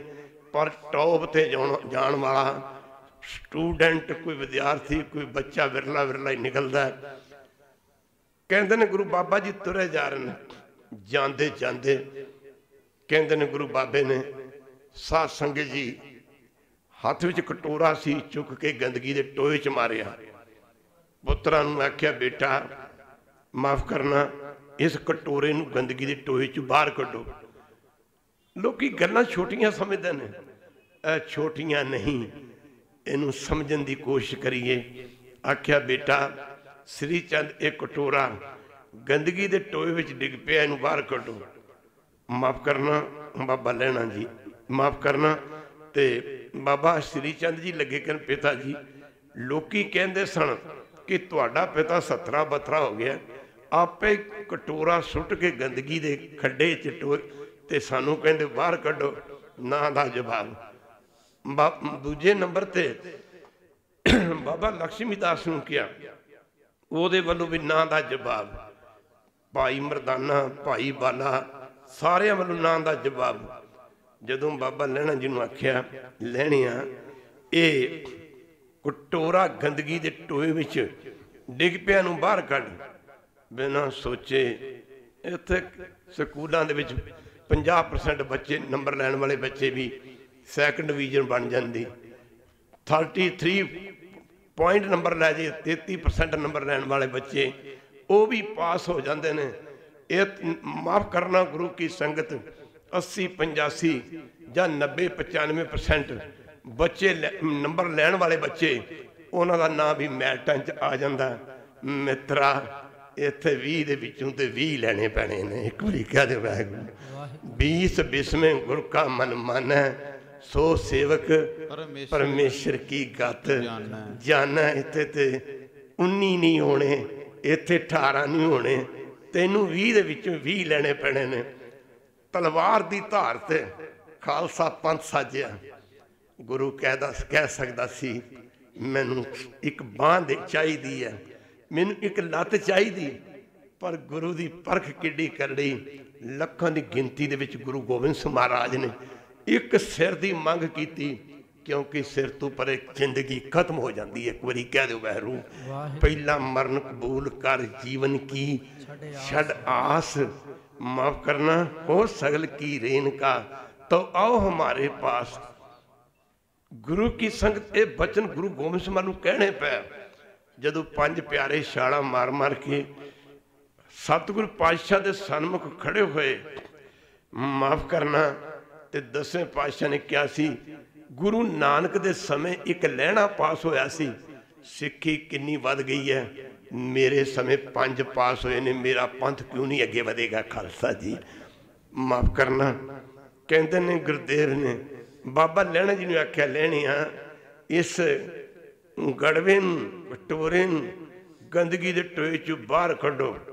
ਸੋਚਣ ਦੀ ਗੁੰਜਾਇਸ਼ ਹੀ ਨਹੀਂ ਹੈ ਇੱਕ ਵਾਰੀ ਕਹਿ ਦਿਓ ਵਾਹਿਗੁਰੂ। ਸੋਚਣ ਦੀ ਗੁੰਜਾਇਸ਼ ਹੀ ਨਹੀਂ ਹੈ ਜਦ ਮੰਨਣਾ ਹੀ ਬਚਣਾ ਤਾਂ ਸਾਧ ਸੰਗਤ ਜੀ ਜਦੇ ਬਾਬਾ ਲੈਣਾ ਜੀ ਨੇ ਗੰਦਗੀ ਦੇ ਟੋਏ ਵਿੱਚ ਛਾਲ ਮਾਰ ਕੇ ਨਾ ਕਟੋਰਾ ਕੱਢ ਕੇ ਮਾਂਜ ਕੇ ਕੂਚ ਕੇ ਗੁਰੂ ਨਾਨਕ ਪਾਤਸ਼ਾਹ ਦੇ ਚਰਨਾਂ ਵਿੱਚ ਰੱਖ ਦਿੱਤਾ। ਕੀ ਸਵਾਲ ਉਸ ਟਕੇ ਦੇ ਗੜਵੇ ਦਾ ਸੀ? ਨਹੀਂ। ਸਵਾਲ ਇਸ ਗੱਲ ਦਾ ਸੀ ਜਿਹੜੇ ਪੁੱਤਰ ਇੱਕ ਟਕੇ ਦੇ ਕਟੋਰੇ ਦੀ ਕਦਰ ਨਹੀਂ ਕਰਦੇ, ਉਹ ਮਾਫ ਕਰਨਾ, ਗੁਰੂ ਨਾਨਕ ਦੀ ਗੁਰਤਾ, ਗੁਰਗੱਦੀ ਦੀ ਕਦਰ ਕੀ ਕਰਨਗੇ? ਜਿਹੜੇ ਪੁੱਤਰ ਇੱਕ ਕਟੋਰੇ ਨੂੰ ਗੰਦਗੀ ਦੇ ਟੋਏ ਚੋਂ ਬਾਹਰ ਨਹੀਂ ਕੱਢ ਸਕਦੇ, ਉਹ ਪੁੱਤਰ ਕਲਯੁਗ ਦੇ ਕਲ, ਕਲਯੁਗ ਦੇ ਜੀਵਾਂ ਦੇ ਮਾਫ ਕਰਨਾ ਮਨਾਂ ਨੂੰ ਵਿਕਾਰਾਂ ਦੇ ਵਿੱਚੋਂ ਬਾਹਰ ਕਿਵੇਂ ਕੱਢ ਸਕਣਗੇ? ਇੱਕ ਐਸਾ ਸਮਾਂ ਵੀ ਆਇਆ ਸੀ ਇੱਕ ਵਾਰੀ ਕਹਿ ਦੇ ਵੈਰੂ ਜਾ ਕੇ ਮਨ ਗੁਰ ਕੀ ਪ੍ਰਤੀਤ ਤਿਸ ਜਨ ਆਵੈ ਹਰ ਪ੍ਰਭ ਜੀਤ। ਸ਼ਰਧਾ। ਮਾਫ ਕਰਨਾ ਸ਼ਰਧਾ। ਪਾਸ਼ਾ ਕਹਿੰਦੇ ਆ ਜਾ ਮਨਸਾ ਧਾਰ ਜੋ ਘਰ ਤੇ ਆਵੇ ਮਨਸਾ ਧਾਰ ਜੋ ਘਰ ਤੇ ਆਵੇ ਸਾਧ ਸੰਗ ਜਨਮ ਮਰਨ ਮਟਾਵੇ। ਸਾਧ ਸੰਗ ਜੀ ਅੱਜ ਕੱਲ ਕਹਿੰਦੇ ਨੇ ਕਿ ਧੰਨੇ ਨੂੰ ਪੱਥਰ ਦੇ ਵਿੱਚੋਂ ਰੱਬ ਨਹੀਂ ਮਿਲਿਆ। ਹਾਂ ਪੱਥਰ ਪੱਥਰ ਸੀ। ਪਰ ਧੰਨੇ ਦੀ ਭਾਵਨਾ ਪੱਥਰ ਦੇ ਨਾਲੋਂ ਵੀ ਮਜ਼ਬੂਤ ਸੀ। ਉਹਦੀ ਸ਼ਰਧਾ ਪੱਥਰ ਦੇ ਨਾਲੋਂ ਵੀ ਮਜ਼ਬੂਤ ਸੀ।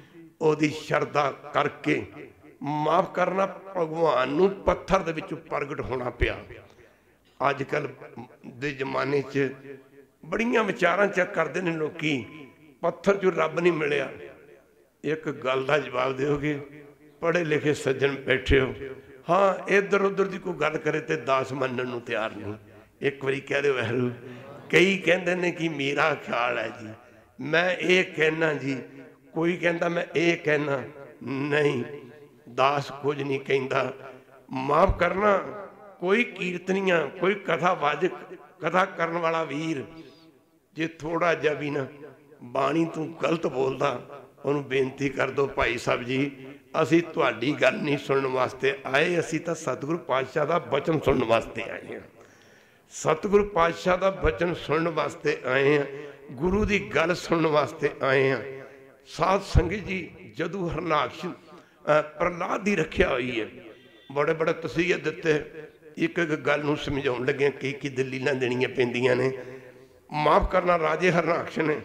ਹਰਨਾਕਸ਼ ਵਰਗੇ ਸੂਰਮੇ ਜਿਹੜੇ ਜਿਹੜੇ ਜੱਪਣ ਨਹੀਂ ਦਿੰਦੇ, ਰਾਮ ਪ੍ਰਲਾਦ ਨੂੰ ਕਿੰਨੀਆਂ ਸਜ਼ਾਵਾਂ ਦਿੱਤੀਆਂ? ਮਾਫ ਕਰਨਾ। ਪ੍ਰਲਾਦ ਨੂੰ ਕੀ ਸਜ਼ਾਵਾਂ ਦਿੱਤੀਆਂ? ਪ੍ਰਲਾਦ ਨੂੰ ਪਹਾੜਾਂ ਤੋਂ ਥੱਲੇ ਸੁੱਟਿਆ। ਉਹ ਕਮਲ ਫੁੱਲ ਦੀ ਤਰ੍ਹਾਂ ਮਾਫ ਕਰਨਾ ਬਚ ਗਿਆ। ਉਹਨੂੰ ਤਪਦੇ ਮਾਫ ਕਰਨਾ ਦਰਿਆਵਾਂ 'ਚ ਸੁੱਟਿਆ। ਹੱਥਾਂ ਦੀਆਂ ਬੇੜੀਆਂ ਟੁੱਟ ਗਈਆਂ ਤੇ ਪੈਰਾਂ ਦੀਆਂ ਹੱਥ ਬੇੜੀਆਂ ਟੁੱਟ ਗਈਆਂ, ਹੱਥਾਂ ਦੀਆਂ ਹੱਥਕੜੀਆਂ ਟੁੱਟ ਗਈਆਂ ਤੇ ਪ੍ਰਲਾਦ ਨਾਲ ਪਾਣੀ ਦੇ ਉੱਤੇ ਐ ਤੁਰਿਆ ਫਿਰਦਾ ਸੀ ਜਿਵੇਂ ਅਸੀਂ ਤੁਰੇ ਫਿਰਦੇ ਹਾਂ।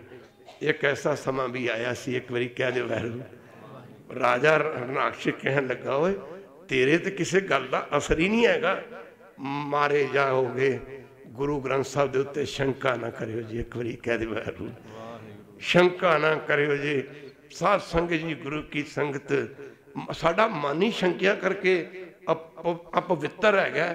ਪਾਸ਼ਾ ਕਹਿੰਦੇ ਫਰਮਾਉਂਦੇ ਨੇ, ਸੰਸੇ ਜਿਉ ਮਲੀਨ ਹੈ। ਸਾਰੇ ਪੜੋ ਸੰਸੇ ਜਿਉ ਮਲੀਨ ਹੈ। ਸਾਡਾ ਮਨ ਹੀ ਸ਼ੰਕਿਆ ਕਰਕੇ ਮੈਲਾ ਪਰ satsang ਇੱਕ ਐਸਾ ਸਮਾਂ ਆਇਆ 18 ਧਾਤਾਂ ਦਾ ਬਣਿਆ ਇੱਕ ਥੰਮ ਗਰਮ ਕੀਤਾ ਗਿਆ। ਪ੍ਰਲਾਦ ਛੋਟੀ ਜੀ ਉਮਰ ਸੀ। ਗੁਰੂ ਕੀ ਸੰਗਤ ਤੇ ਪ੍ਰਲਾਦ ਦੇ ਤਨ ਦੇ ਬਸਤਰ ਉਤਾਰ ਕੇ ਰਾਜੇ ਹਰਨਾਕਸ਼ ਨੇ ਆਖਿਆ ਰਾਮ ਰਾਮ ਲਾਈ ਫਿਰਦਾ ਤੇਰੇ ਰਾਮ ਦਾ ਹੁਣ ਪਤਾ ਲੱਗੇਗਾ। ਇਸ ਸੜ ਦੇ ਬਲ ਦੇ ਥੰਮ ਨੂੰ ਜੱਫਾ ਮਾਰ ਗੁਰੂ ਕੀ ਸੰਗਤ। ਪ੍ਰਹਲਾਦ ਕੰਬ ਗਿਆ ਸੀ, ਪਰ ਭਗਵਾਨ ਕੀੜੀ ਰੂਪ ਧਾਰਨ ਕਰਕੇ ਸੜ ਦੇ ਬਲ ਦੇ ਉਸ ਥੰਮ ਤੇ ਫਿਰ ਗਿਆ ਸੀ।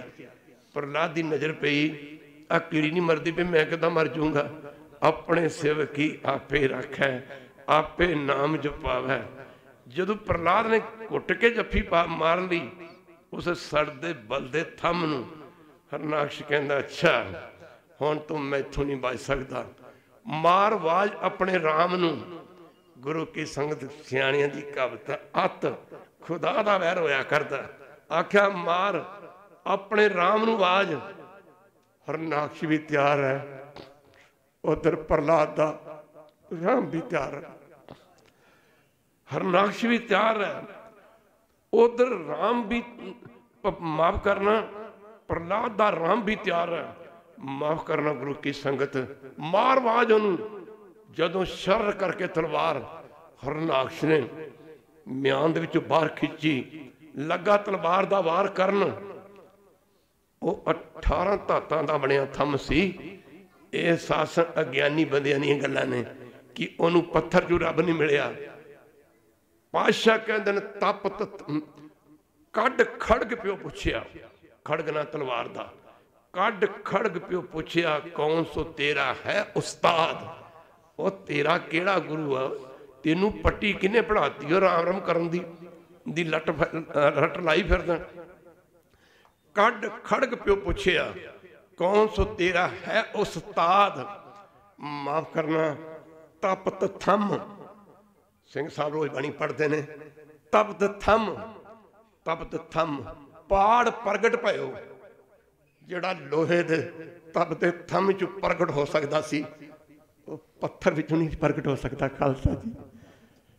ਤਪਤ ਥੰਮ, ਪਾੜ ਪ੍ਰਗਟ ਭਇਓ। ਤਪਤ ਥੰਮ, ਪਾੜ ਪ੍ਰਗਟ ਭਇਓ।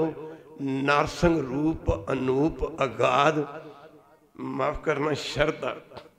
ਜਿੱਦਣ ਸ਼ਰਧਾ ਬਣ ਗਈ ਨਾ ਇੱਕ ਵਾਰੀ ਕਹਿ ਦਿਓ ਵਾਹਿਗੁਰੂ ਜਿਸ ਦਿਨ ਸ਼ਰਧਾ ਬਣ ਗਈ ਜਾ ਕੇ ਇਹਦੇ ਵਿਸ਼ਵਾਸ ਪਰ ਆਇਆ ਪਤ ਗਿਆਨ ਤਿਸ ਮਨ ਪ੍ਰਗਟਾਇਆ ਪਾਤਸ਼ਾਹ ਜਾ ਰਹੇ ਨੇ ਜਾਂਦੇ ਜਾਂਦੇ ਇੱਕ ਮੁਰਦੇ ਦੀ লাশ ਪਈ ਹੈ ਅਸੀਂ ਤੇ ਮਿੱਠਾ ਅੰਮ੍ਰਿਤ ਛਕਣ ਨੂੰ ਤਿਆਰ ਨਹੀਂ ਇੱਕ ਵਾਰੀ ਕਹਿ ਦਿਓ ਵਾਹਿਗੁਰੂ ਅਸੀਂ ਤੇ ਰਹਿਤ ਰੱਖਣ ਨੂੰ ਤਿਆਰ ਨਹੀਂ ਮੁਰਦੇ ਮੁਰਦੇ ਦੀ লাশ ਪਈ ਹੈ ਪਾਤਸ਼ਾਹ ਨੇ ਆਪਣੀ ਚਿੱਟੀ ਦੁੱਧ ਵਰਗੀ ਚਾਦਰ ਉਤਾਰ ਕੇ ਮੁਰਦੇ ਦੇ ਉੱਤੇ ਪਾਤੀ।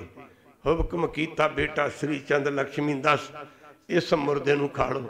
ਆਖਿਆ ਪਿਤਾ ਜੀ, ਕਮਾਲ ਦੀ ਗੱਲ ਹੈ। ਕੋਈ ਆਪਣੇ, ਕੋਈ ਮੁਰਦੇ ਵੀ ਖਾਂਦਾ ਹੁੰਦਾ ਕਿਉਂਕਿ ਸ਼ੰਕਾ ਹੈ, ਇੱਕ ਵਾਰੀ ਕਹਿ ਦਿਓ ਵਾਹਿਗੁਰੂ ਵਾਹਿਗੁਰੂ ਸ਼ੰਕਾ ਹੈ, ਮਾਫ ਕਰਨਾ। ਸ਼ੰਕਾ ਹੈ, ਆਖਿਆ, ਮੁਰਦੇ ਨੂੰ ਖਾ ਲਓ। ਆਖਿਆ ਪਿਤਾ ਜੀ, ਕੋਈ ਮੁਰਦਾ ਵੀ ਖਾਂਦਾ ਹੁੰਦਾ ਭਾਈ ਆਲਾ ਜੀ ਨੂੰ ਕਿਹਾ, ਮਰਦਾਨਾ ਜੀ ਨੂੰ ਕਿਹਾ। ਮਰਦਾਨਾ ਕਹਿਣ ਲੱਗਾ, ਮਾਰ ਕੋਈ ਕੋਈ ਮਠਿਆਈ ਥੋੜੀ ਹੈ। ਜੇ ਮਠਿਆਈ ਹੁੰਦੀ ਤੇ ਜ਼ਰੂਰ ਖਾ ਲੈਂਦਾ, ਕਹਿਣ ਦੀ ਲੋੜ ਹੀ ਨਹੀਂ ਸੀ ਪੈਣੀ। ਪਰ ਮਾਫ ਕਰਨਾ, ਸਾਰਿਆਂ ਵੱਲ ਨਾ ਦਾ ਜਵਾਬ ਨਜ਼ਰ ਪਈ। ਆਹਾ, ਨਜ਼ਰ ਪਈ ਬਾਬਾ ਲੈਣਾ ਜੀ ਤੇ। ਗੁਰਦੇਵ ਕਹਿੰਦੇ ਲੈਣਿਆ ਪੁੱਤਰ ਮੁਰਦੇ ਨੂੰ ਖਾਣ ਵਾਸਤੇ ਤਿਆਰ ਨਹੀਂ। ਬਾਲਾ ਮਰਦਾਨਾ ਮੁਰਦੇ ਨੂੰ ਖਾਣ ਵਾਸਤੇ ਤਿਆਰ ਨਹੀਂ ਤੇ ਤੂੰ ਮੁਰਦੇ ਨੂੰ ਖਾ ਲੈ। ਬਾਬਾ ਲੈਣਾ ਜੀ ਨੇ ਆਖਿਆ ਜੀ, ਸੱਤ ਬਚਨ ਸੱਤ ਬਚਨ ਸੱਤ ਬਚਨ ਸਾਧੂ ਉਪਦੇਸ਼। ਗੁਰੂ ਘਰ ਦੀ ਪੜ੍ਹਾਈ ਸੱਤ ਬਚਨ ਦੀ ਹੈ। ਆਖਿਆ ਲੈਣਿਆ ਤੁਸੀਂ ਮੁਰਦੇ ਨੂੰ ਖਾ ਲਓ। ਆਖਿਆ ਜੀ, ਸੱਤ ਬਚਨ। ਸੱਤ ਬਚਨ ਕਹਿ ਕੇ ਬਾਬਾ ਲੈਣਾ ਜੀ, ਖਲੋਤੇ ਰਹੇ। ਗੁਰਦੇਵ ਕਹਿੰਦੇ ਲੈਣਿਆ ਆ ਕੀ ਗੱਲ ਬਣੀ? ਲੈਣੀਆਂ ਆ ਕੀ ਗੱਲ ਬਣੀ? ਇੱਕ ਗੱਲ ਨਾ ਭੁੱਲਣਾ, ਨੌ ਸਰੂਪਾਂ ਦੇ ਵਿੱਚ ਗੁਰੂ ਸਿੱਖ ਰਿਹਾ। ਗੁਰੂ ਰਿਹਾ ਹੀ ਇੱਕ ਇੱਕ ਵਾਰੀ ਕਹਿ ਦੇ ਵਾਹਿਗੁਰੂ। ਗੁਰੂ ਅੱਜ ਵੀ ਇੱਕ ਹੈ। ਮਾਫ ਕਰਨਾ, ਗੁਰੂ ਨਾਨਕ ਪਾਤਸ਼ਾਹ ਦੇ ਚਰਨਾਂ ਵਿੱਚ ਬਾਬਾ ਲੈਣਾ ਜੀ ਨੇ ਸੇਵਾ ਕੀਤੀ, ਸਿੱਖ ਬਣ ਕੇ। ਤੇ ਗੁਰੂ ਨਾਨਕ ਦਾ ਰੂਪ ਬਣ ਗਿਆ। ਗੁਰੂ ਨਾਨਕ, ਗੁਰੂ ਅੰਗਦ ਦੇ ਮਰ ਦੇ ਚਰਨਾਂ ਵਿੱਚ ਬਾਬਾ ਅਮਰਦਾਸ ਜੀ ਮਹਾਰਾਜ ਨੇ ਸੇਵਾ ਕੀਤੀ, ਸਿੱਖ ਬਣ ਕੇ। ਤੇ ਗੁਰੂ ਕੀ ਸੰਗਤ ਇੱਕ ਦਿਨ ਫਿਰ ਗੁਰੂ ਅਮਰਦਾਸ ਮਹਾਰਾਜ ਦਾ ਰੂਪ ਬਣ ਗਿਆ। ਖੈਰ, ਇੱਕ ਇੱਕ ਕਰਕੇ ਨਾ ਜਰਾ ਧਿਆਨ ਤੇ ਦੇਣਾ ਪਵੇਗਾ ਨਾ। ਅੱਜ ਕਹਿ ਰਹੇ ਨੇ, ਲੈਣੀਆਂ ਸੱਤ ਬਚਨ ਵੀ ਕਹਿ ਦਿੱਤਾ। ਅਸੀਂ ਵੀ ਕਹਿ ਦਿੰਨੇ ਹਾਂ ਜੀ। ਅਸੀਂ ਵੀ ਕਹਿ ਦਿੰਨੇ ਹਾਂ, ਸਭ ਕੁਝ ਤੇਰਾ ਜੀ, ਤਨ ਵੀ ਤੇਰਾ, ਮਨ ਵੀ ਤੇਰਾ, ਧਨ ਵੀ ਤੇਰਾ। ਪਰ ਅਗਲੀ ਗੱਲ ਕਦੋਂ ਛੱਡਾਂਗੇ? ਤਨ ਮਨ ਧਨ ਸਭ ਤੇਰਾ ਪਰ ਕਬਜ਼ਾ ਰਹੇਗਾ ਮੇਰਾ। ਬੰਦਾ ਬੰਦੇ ਨਾਲ ਧੋਖਾ ਕਰ ਜੇ, ਕੋਈ ਵੱਡੀ ਗੱਲ ਨਹੀਂ ਕਰਦੇ ਦੇਖੇ ਨੇ। ਪਰ ਅਸੀਂ ਤੇ ਸਤਿਗੁਰੂ ਪਾਤਸ਼ਾਹ ਨੇ ਧੋਖਾ ਕਰੀ ਜਾਂਦੇ ਸਤਿਗੁਰੂ ਪਾਤਸ਼ਾਹ ਨੇ ਧੋਖਾ ਕਰੀ ਜਾਂਦੇ ਆ ਮਾਫ ਕਰਨਾ ਗੁਰੂ ਕੀ ਸੰਗਤ ਕਰੇ, ਜਪਜੀ ਸਾਹਿਬ ਦਾ ਪਾਠ ਕਰਨ ਦਾ ਮਤਲਬ ਕੀ ਹੈ? ਕਦੇ ਸੋਚਿਆ, ਤੁਹਾਨੂੰ ਤੁਹਾਡਾ ਗੁਰੂ ਕੁਝ ਕਰਨ ਵਾਸਤੇ ਕਹਿ ਰਿਹਾ। ਤੁਹਾਨੂੰ ਤੁਹਾਡਾ ਗੁਰੂ, ਤੁਹਾਨੂੰ ਕੁਛ ਨਾ ਕਰਨ ਵਾਸਤੇ ਕਹਿ ਰਿਹਾ। ਪਹਿਲਾਂ ਸੁਣ ਸੁਣਿਆਂ ਦੀਆਂ ਚਾਰ ਪੌੜੀਆਂ। ਫਿਰ ਮੰਨੇ ਮੰਨੇ ਕੀ ਗੱਤ ਕਹੀ ਨਾ ਜਾਏ। ਫਿਰ ਸਤਿਗੁਰ ਪਾਤਸ਼ਾਹ ਤੁਹਾਨੂੰ ਦੱਸ ਰਾਂ ਜੇ ਮੰਨੇਗਾ ਤੇ ਆਹ ਤੈਨੂੰ ਫਲ ਮਿਲੂਗਾ। ਪਰ ਸਾਧ ਸੰਗਤ ਜੀ ਪਾਤਸ਼ਾਹ ਕਹਿੰਦੇ, ਲੈਣਿਆ, ਸਤ ਬਚਨ ਵੀ ਕਹਿ ਤਾ ਤੇ ਖਲੋ ਵੀ ਰਿਆਂ ਆਖਿਆ, ਗਰੀਬ ਨਵਾਜ, ਮੈਂ ਤੁਹਾਡੇ ਹੁਕਮ ਦੀ ਉਡੀਕ ਕਰ ਰਿਹਾ। ਇਸ ਮੁਰਦੇ ਨੂੰ ਪੈਰਾਂ ਵੱਲੋਂ ਖਾਵਾਂ ਕਿ ਇਹਨੂੰ ਸਿਰ ਵੱਲੋਂ ਖਾਵਾਂ? ਗੁਰਦੇਵ ਕਹਿੰਦੇ ਲੈਣਿਆ ਇਹ ਕੋਈ ਗੱਲ ਪੁੱਛਣ ਵਾਲੀ ਹੁਕਮ ਤੇ ਹੋ ਚੁੱਕਾ ਹੈ। ਇਹ ਕੋਈ ਗੱਲ ਪੁੱਛਣ ਵਾਲੀ ਇਹ ਕਿਧਰੂ ਖਾਵਾਂ? ਪੈਰਾਂ ਵੱਲੋਂ ਜਾਂ ਸਿਰ ਵੱਲੋਂ ਖਾਵਾਂ? ਹੁਕਮ ਤੇ ਹੋ ਚੁੱਕਾ ਹੈ। ਤੂੰ ਜਿੱਧਰੋਂ ਮਰਜ਼ੀ ਖਾ ਲੈ, ਪਰ ਤੂੰ ਖਾ ਲੈ ਸਹੀ।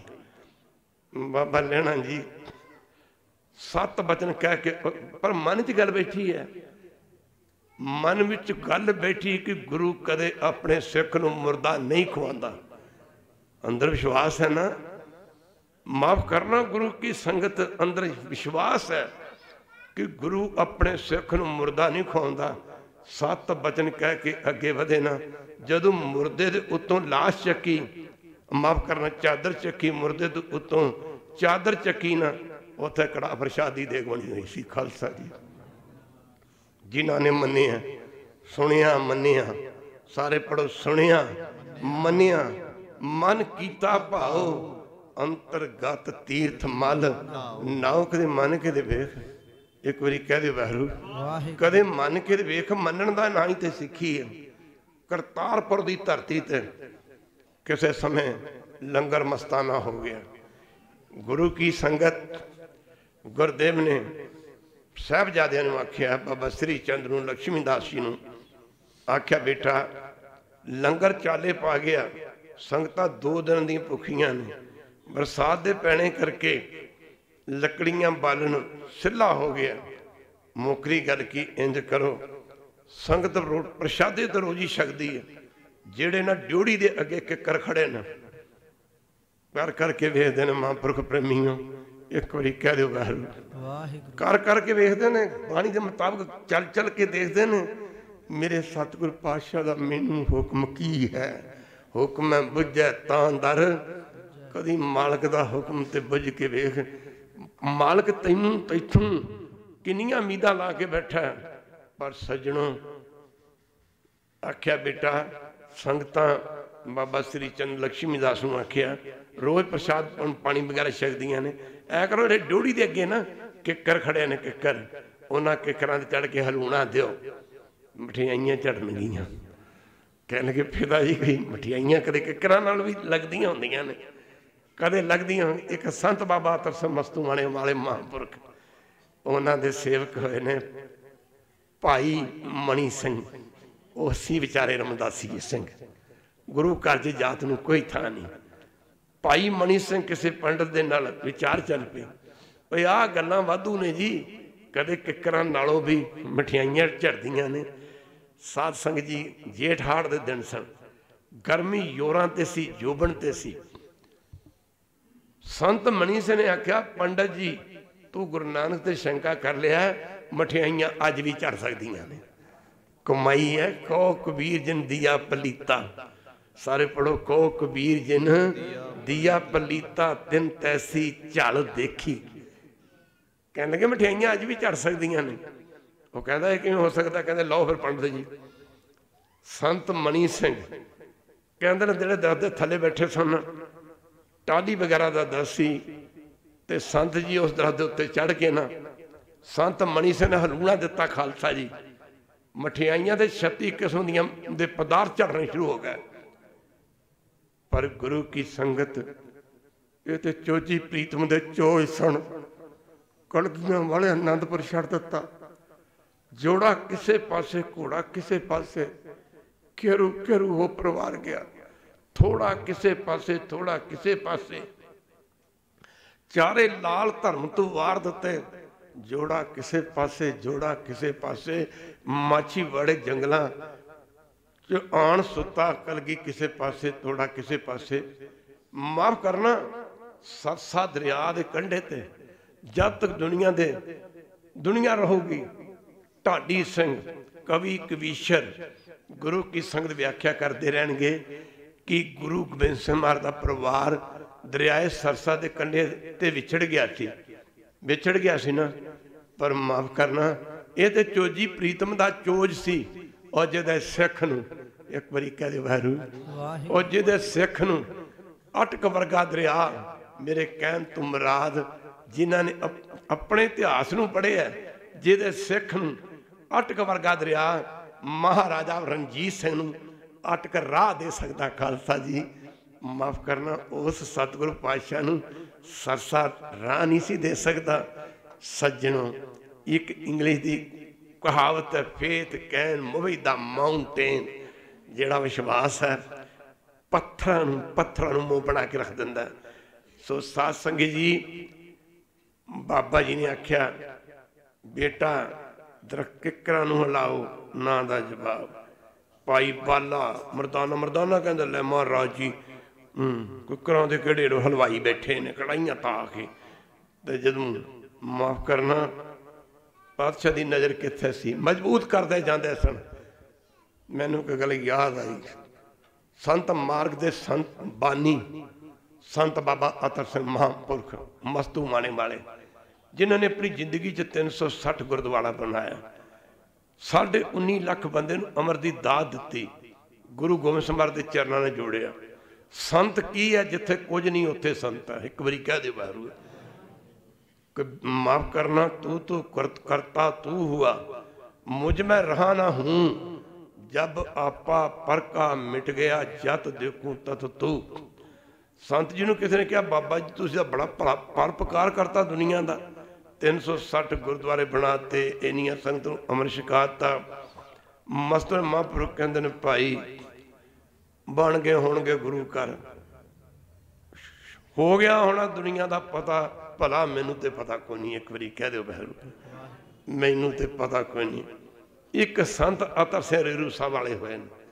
ਇਹਨਾਂ ਮਹਾਂਪੁਰਖਾਂ ਦਾ ਆਪਸ ਵਿੱਚ ਬੜਾ ਪਿਆਰ ਸੀ।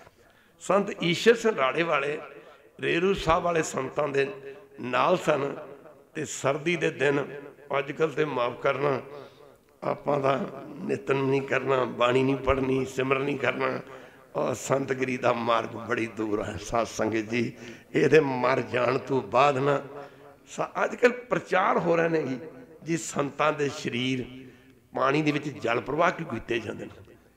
ਕਿਸੇ ਪਾਸੇ ਟਿਕਣ ਵੀ ਦਿਓਗੇ ਕਿ ਨਹੀਂ ਟਿਕਣ ਦਿਓਗੇ? ਸੰਤਾਂ ਦੇ ਸਰੀਰ ਜਲ ਪ੍ਰਵਾਹ ਇਸ ਕਰਕੇ ਹੁੰਦੇ ਨੇ ਉਹਨਾਂ ਦਾ ਸੰਸਕਾਰ ਇਸ ਕਰਕੇ ਨਹੀਂ ਕਰਦੇ ਕਿ ਜਿੱਥੇ ਸੰਤਾਂ ਦਾ ਸੰਸਕਾਰ ਹੋ ਜਾਣਾ ਲੋਕੀ ਜਾ ਕੇ ਫਿਰ ਮੱਥੇ ਟੇਕਦੇ ਨੇ ਤੇ ਸਾਡੇ ਬਾਬਿਆਂ ਦੇ ਸਰੀਰ ਦਾ ਸੰਸਕਾਰ ਹੋਇਆ ਸੀ। ਜਾਓ ਜੇ ਕਿ ਸੰਤਾਂ ਸਰੀਰ ਜਲ 'ਚ ਜਲ ਪ੍ਰਵਾਹ ਹੋ ਗਿਆ ਤੇ ਉੱਥੇ ਮਾਰੋ ਛਾਲ ਤੇ ਉੱਥੇ ਜਾ ਕੇ ਮੱਥਾ ਟੇਕੋ। ਮਹਾਤਮਾ ਦੇ ਚਾਹੁੰਦੇ ਨੇ ਕਿ ਦੁਨੀਆ ਗੁਰੂ ਨਾਲ ਹੀ ਜੁੜੀ ਰਹੇ। ਇੱਕ ਵਾਰੀ ਕਹਿ ਦਿਓ ਵੈਰ। ਇੱਕ ਵਾਰੀ ਫੇਰ ਕਹਿ ਦਿਓ ਵੈਰ। ਪਰ ਸਾਧ ਸੰਗ ਜੀ ਫੇਰ ਕਹਿਣਗੇ ਜੀ ਸੰਤ ਦੇ ਮੱਥੇ ਟਿਕਾਉਂਦੇ ਨੇ ਜੀ। ਕੋਈ ਕਿਸੇ ਸੰਤ ਨੇ ਚਿੱਠੀ ਪਾਈ ਤੁਹਾਨੂੰ ਕਦੇ ਜਾਂ ਫੋਨ ਕੀਤਾ ਹੋਵੇ, ਜਾਂ ਕੋਈ ਲੈਟਰ ਪਾਇਆ ਹੋਵੇ, ਵੀ ਇਹਦੀ ਆ ਰਿਹਾ, ਸਾਨੂੰ ਮੱਥਾ ਟੇਕਿਓ ਜੀ। ਮਾਫ ਕਰਨ ਆਪੇ ਹੀ ਮੱਥੇ ਟੇਕੀ ਜਾਣੇ, ਆਪਾਂ ਗੱਲੇ ਕੱਲਾਂ ਕਰੀ ਜਾਣੀਆਂ। ਪਰ ਮਾਫ ਕਰਨਾ, ਇੱਥੇ ਗੁਰੂ ਪਿਆਰਿਓ, ਮ- ਸੰਤ ਈਸ਼ਰ ਰਾੜੇ ਵਾਲਿਆਂ ਦੇ ਕੰਨਾਂ ਦੇ ਵਿੱਚੋਂ ਪਾਣੀ ਵਗ ਰਿਹਾ ਸੀ, ਨੱਕ। ਜਿਹਨੂੰ ਤੁਸੀਂ ਫਿਲਿਓ ਕਹਿ ਦਿੰਦੇ ਹੋ, ਨੱਕ ਦੇ ਵਿੱਚੋਂ ਵੀ ਪਾਣੀ ਜਾ ਰਿਹਾ। ਤੇ ਅੱਖਾਂ 'ਚ ਪਾਣੀ ਜਾ ਰਿਹਾ। ਮਸਤ ਵਾਲੇ ਮਹਾਂਪੁਰਖਾਂ ਨੇ ਆਖਿਆ, ਸੰਤ ਅਤਰ ਸਿੰਘ ਮਹਾਰਾਜ ਨੂੰ, ਆਖਿਆ ਵੀ, ਵੱਡੇ ਭਾਈ, ਵੱਡੇ ਵੀਰ, ਆਪ ਚੰਗੀ ਨੂੰ ਕੋਈ ਜੜੀ ਬੂਟੀ ਤਾਂ ਕਰਾ ਦੇ, ਕੋਈ ਦਵਾਈ ਦਵਾ ਦੇ। ਰੇਰੂ ਸਾਹਿਬ ਵਾਲੇ ਸੰਤਾਂ ਨੇ ਆਖਿਆ, ਸੰਤ ਜੀ, ਇਹ ਕੰਨਾਂ ਦੇ ਵਿੱਚ ਪਾਣੀ ਨਹੀਂ ਵਗ ਰਿਹਾ, ਇਹ ਨੱਕ ਨੱਕ ਦੇ ਵਿੱਚੋਂ ਪਾਣੀ ਨਹੀਂ ਵਗ ਰਿਹਾ ਵਗ ਰਿਹਾ, ਅੱਖਾਂ ਦੇ ਵਿੱਚੋਂ ਪਾਣੀ ਨਹੀਂ ਵਗ ਰਿਹਾ। ਆਖਿਆ ਸੀ, ਸੰਤ ਜੀ, ਉਹ ਭਾਂਡਾ ਸਾਫ਼ ਹੋ ਰਿਹਾ ਇਸ ਭਾਂਡੇ ਵਿੱਚ ਕੋਈ ਵਸਤੂ ਪਾਉਣੀ ਹੈ ਖਾਲਸਾ ਜੀ, ਪਹੁੰਚੀਏ ਗੁਰੂ ਕੀ ਸੰਗਤ ਬਾਬਾ ਲੈਣਾ ਜੀ। ਲਾਲਾ ਸਖਤ ਕਸਵਟੀਆਂ ਪਰਖਦਾ ਰੱਬ ਪਰਖਦਾ ਭਗਤਾਂ ਪਿਆਰਿਆਂ ਨੂੰ। ਕਦੇ ਦੇਗਾਂ ਦੇ ਵਿੱਚ ਹੈ ਕਾੜ ਦਿੰਦਾ, ਕਦੇ ਫੇਰਦਾ ਸਿਰਾਂ ਤੇ ਆਰਿਆਂ ਨੂੰ। ਕਹਿੰਦੇ, ਜਿਸ ਪਤ ਰੱਖੇ ਸੱਚਾ ਸਾਹਿਬ। ਸਾਰੇ ਪੜੋ ਜਿਸ ਪਤ ਰੱਖੇ ਸੱਚਾ ਸਾਹਿਬ। ਉਹ ਜੇ ਬਖਸ਼ਾਂ ਕਰਦਾ ਤੇ ਬਾਬੇ ਮੋਤੀ ਮਹਿਰੇ ਦੇ ਲਈ ਕਰ ਦਿੱਤੀਆਂ। ਇੱਕ ਵਾਰੀ ਕਹਿ ਦਿਓ ਵਾਹਿਗੁਰੂ। ਜਦੋਂ ਬਾਬੇ ਮੋਤੀ ਮਹਿਰੇ ਦਾ ਨਾ ਸਰੀਰ ਕਹਿੰਦੇ ਨੇ ਕੋਲੂ ਚ ਪੀੜਿਆ ਜਾ ਰਿਹਾ ਸੀ ਨਾ ਤੇ ਮਾਫ ਕਰਨਾ ਗੋਡਿਆਂ ਤੱਕ ਨਾ ਗੋਡਿਆਂ ਤੱਕ। ਜਦੋਂ ਸਰੀਰ ਨਾ ਪੀੜਿਆ ਗਿਆ ਤੇ ਵਜੀਦਾ ਖਾਂ ਕਹਿੰਦਾ ਠਹਿਰੋ। ਇੱਕ ਵਾਰੀ ਕਹਿ ਦੇ ਵਾਹਿਗੁਰੂ। ਕਹਿੰਦਾ ਉਹ ਠਹਿਰੋ ਠਹਿਰੋ। ਜਦੋਂ ਰੁਕੇ ਤੇ ਮਾਫ ਕਰਨਾ ਬਾਬਾ ਮੋਤੀ ਮਹਿਰਾ ਜੀ ਨੂੰ। ਵਜੀਦਾ ਖਾਂ ਕਹਿੰਦਾ, ਆ ਗਿਆ ਮਜ਼ਾ। ਮਾਤਾ ਗੁਜਰੀ ਤੇ ਛੋਟੇ ਸਾਹਿਬਜ਼ਾਦਿਆਂ ਦੇ ਸਰੀਰਾਂ ਦੇ ਸੰਸਕਾਰ ਕਰਨ ਦਾ। ਆ ਗਿਆ ਮਜ਼ਾ। ਮਜ਼ਾ ਚੱਖ ਲਿਆ ਤੇ ਬਾਬਾ ਮੋਤੀ ਮਹਿਰਾ ਕਹਿੰਦਾ ਸੀ, ਓਏ, ਉਹ ਮਜ਼ਾ ਹੀ ਹੋਣਾ ਆ, ਖਾਲਸਾ ਜੀ। ਮਾਫ ਕਰਨਾ। ਜਿਸ ਪਿਆਰੇ ਸੁਨਿਓ ਜਿਸ ਅੱਗੇ ਮਰ ਚਲੀ ਹੈ, ਤ੍ਰਿਗ ਜੀਵਨ ਸੰਸਾਰ ਤਾਕੇ ਪਾਛੇ ਜੀਵਣਾ ਗੁਰੂ ਕੀ ਸੰਗਤ ਬਾਬਾ ਲੈਣਾ ਜੀ ਨੂੰ, ਮੇਰੇ ਸਤਿਗੁਰੂ ਪਾਤਸ਼ਾਹ ਜੀ ਨੂੰ ਕਹਿ ਰਹੇ ਨੇ, ਲੈਣਿਆ, ਇੰਜ ਕਰ, ਪੁੱਤਰ ਨਹੀਂ ਮੰਨਦੇ, ਭਾਈ ਬਾਲਾ ਮਰਦਾਨਾ ਨਹੀਂ ਮੰਨਦੇ, ਤੁਸੀਂ ਉਦਮ ਕਰੋ ਤੇ ਤੁਸੀਂ ਮਾਫ ਕਰਨਾ ਗੁਰੂ ਕੀ ਸੰਗਤ। ਇਹਨਾਂ ਕਿਕਰਾਂ ਤੇ ਚੜ ਕੇ ਕਿਕਰਾਂ ਨੂੰ ਹਲੂਣਾ ਦਿਓ, ਮਠਿਆਈਆਂ ਝੜਨਗੀਆਂ ਗੁਰੂ ਕੀ ਸੰਗਤ। ਤਾਰਦੇ ਨੇ ਜੀ ਸਾਨੂੰ ਬਚਨ ਗੁਰਾਂ ਦੇ। ਤਾਰਦੇ ਨੇ ਸਾਨੂੰ ਬਚਨ ਗੁਰਾਂ ਦੇ।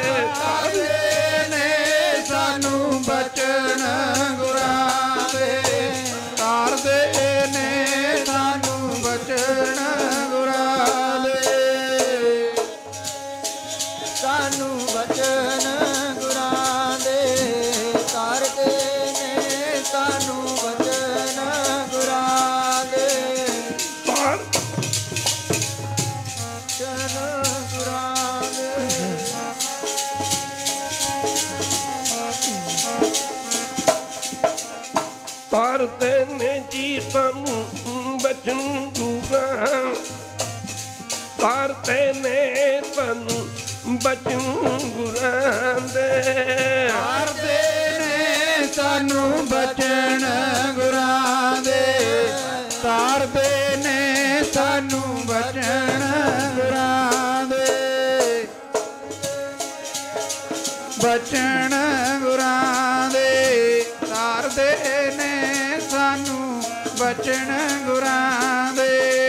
ਹੋਰ ਕਾ ਬਚਨ ਬਤੇ ਜੀ ਨਾਲੇ ਜਲ ਨੀ ਡੂਬੇ ਦਸ ਕਰ ਨਹੀਂ ਲੈਵੈ ਪਾਏ ਨ ਪੱਕੇ ਜਾਲੇ। ਬਾਬਾ ਲੈਣਾ ਜੀ ਸਤਿਗੁਰੂ ਪਾਤਸ਼ਾਹ ਨੇ ਆਖਿਆ ਲੈਣੀਆਂ ਪੁੱਤਰ ਨਹੀਂ ਮੰਨਦੇ ਭਾਈ ਬਾਲਾ ਮਰਦਾਨਾ ਨਹੀਂ ਮੰਨਦੇ। ਤੁਸੀਂ ਸੰਗਤਾਂ ਭੁਖੀਆਂ ਨੇ ਗੁਰੂ ਕੀ ਸੰਗਤ ਇਹਨਾਂ ਦੇ ਖਾਣ ਪੀਣ ਦਾ ਪ੍ਰਬੰਧ? ਬਾਰਿਸ਼ ਪੈ ਰਹੀ ਹੈ ਹੋਣਾ ਬੜੀ ਮੁਸ਼ਕਲ ਹੈ ਪਰ ਜਿਹੜੇ ਡਿਊਟੀ ਦੇ ਅੱਗੇ ਕਿੱਕਰ ਖੜੇ ਨੇ ਉਹਨਾਂ ਕਿੱਕਰਾਂ ਨੂੰ ਹਲ- ਹਲਾਉਣਾ ਦਿਓ। ਸੱਤ ਬਚਨ ਕਹਿ ਕੇ ਬਾਬਾ ਲੈਣਾ ਜੀ ਅੱਗੇ ਅੱਗੇ ਦੌੜੇ ਜਾਂਦੇ ਨੇ। ਬਾਬਾ ਸ੍ਰੀ ਚੰਦ ਜੀ ਉੱਥੇ ਸ਼ੰਕਾ ਨਹੀਂ ਇੱਥੇ ਸ਼ੰਕਾ ਇੱਕ ਵਾਰੀ ਕਹਿ ਦਿਓ ਵਾਹਿਗੁਰੂ ਵਾਹਿਗੁਰੂ।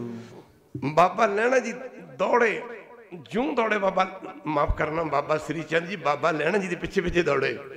ਆਖਿਆ ਬਾਬਾ ਜੀ ਗੱਲ ਤੇ ਸੁਣ ਜਿਓ ਕੋ ਬਾਬਾ ਲੈਣਾ ਜੀ ਗੱਲ ਤੇ ਸੁਣ ਜਿਓ।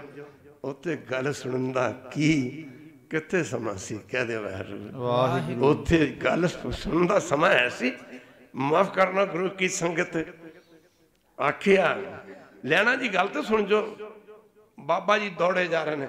ਬਾਬਾ ਸ੍ਰੀ ਚੰਦ ਨੇ ਦੌੜ ਕੇ ਅੱਗੇ ਵਧ ਕੇ ਬਾਬਾ ਲੈਣਾ ਜੀ ਨੂੰ ਬਾਂਹ ਤੋਂ ਫੜ ਕੇ ਨਾ ਆਖਿਆ, ਬਾਬਾ ਜੀ ਇੱਕ ਗੱਲ ਤੇ ਸੁਣ ਲਓ। ਆਖਿਆ, ਦੱਸੋ।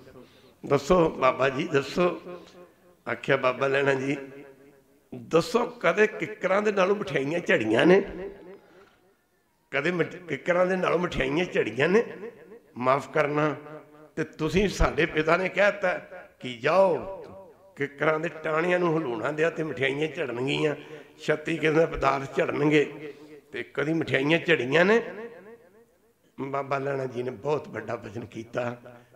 ਸਾਰੇ ਗੁਰੂ ਕੇ ਸਿੱਖੋ ਇਹ ਗੱਲ ਨਾ ਇਹ ਗੱਲ ਪੱਲੇ ਬਨ ਕੇ ਲੈ ਜਿਓ ਜੀ। ਕਹਿ ਦਿਓ ਵਾਹਿਗੁਰੂ ਇੱਕ ਵਾਰੀ ਫਿਰ ਕਹਿ ਦਿਓ ਵਾਹਿਗੁਰੂ ਵਾਹਿਗੁਰੂ। ਮਾਫ ਕਰਨਾ ਮੰਨਣ ਦੀ ਜਾਚ ਸਿੱਖ ਲਓ। ਮੰਗਣਾ ਨਹੀਂ ਪਵੇਗਾ। ਮੰਗਣ ਨੂੰ ਤੇ ਸਾਰੇ ਹੁੰਦੇ ਨੇ। ਕੋਈ ਦੁੱਧ ਮੰਗਦਾ, ਪੁੱਤ ਮੰਗਦਾ, ਧਨ ਮੰਗਦਾ, ਜੋ ਮੰਗਦਾ, ਸਰਸ ਮੰਗਦਾ, ਕਾਰੋਬਾਰ ਮੰਗਦਾ, ਕੋਈ ਕੁਝ ਮੰਗਦਾ। ਪਰ ਮੰਨਣ ਦੀ ਜਾਚ ਸਿੱਖ ਲਓ ਨਾ। ਮਾਫ ਕਰਨਾ, ਜੇ ਮੰਨਣ ਦੀ ਜਾਚ ਆ ਗਈ ਨਾ, ਤੇ ਫਿਰ ਤੇ ਸਾਧ ਸੰਗਤ ਜੀ ਸਾਰੀਆਂ ਬਖਸ਼ਾਂ ਹੀ ਆ ਗਈਆਂ। ਫਿਰ ਤੇ ਗੁਰੂ ਕੀ ਸੰਗਤ ਕੋਈ ਕੋਈ ਕਮੀ ਰਹਿ ਹੀ ਨਹੀਂ ਜਾਣੀ। ਬਾਬਾ ਜੀ ਨੇ ਆਖਿਆ, ਬਾਬਾ ਲੈਣਾ ਜੀ, ਬਾਬਾ ਸ੍ਰੀ ਚੰਦ ਜੀ ਕਹਿ ਰਹੇ ਨੇ ਕਿ ਕਦੀ ਕਿਕਰਾਂ ਨੂੰ ਮਠਿਆਈਆਂ ਝੜੀਆਂ ਨੇ? ਪਰ ਬਾਬਾ ਲੈਣਾ ਜੀ ਕਹਿ ਰਹੇ ਨੇ, ਬਾਬਾ ਜੀ, ਮੇਰਾ ਮਤਲਬ ਮਠਿਆਈਆਂ ਝੜਨ ਤੇ ਨਾ ਝੜਨ ਦੇ ਨਾਲ ਨਹੀਂ ਹੈ। ਮੇਰਾ ਮਤਲਬ ਤੇ ਨਾ ਸਿਰਫ ਗੁਰੂ ਨਾਨਕ ਦਾ ਬਚਨ ਮੰਨਣ ਦੇ ਨਾਲ ਹੈ। ਗੁਰੂ ਨਾਨਕ ਦਾ ਬਚਨ ਮੰਨਣ ਦੇ ਨਾਲ ਹੈ। ਮਾਫ ਕਰਨਾ ਗੁਰੂ ਕੀ ਸੰਗਤ। ਅੱਜ ਤੇ ਅਸੀਂ ਸਿੱਖੀ ਬੜੀ ਸੌਖੀ ਜੀ ਬਣਾ ਦਿੱਤੀ ਕਿ ਕਹਦੇ ਵਾਹਿਗੁਰੂ। ਵਾਹਿਗੁਰੂ।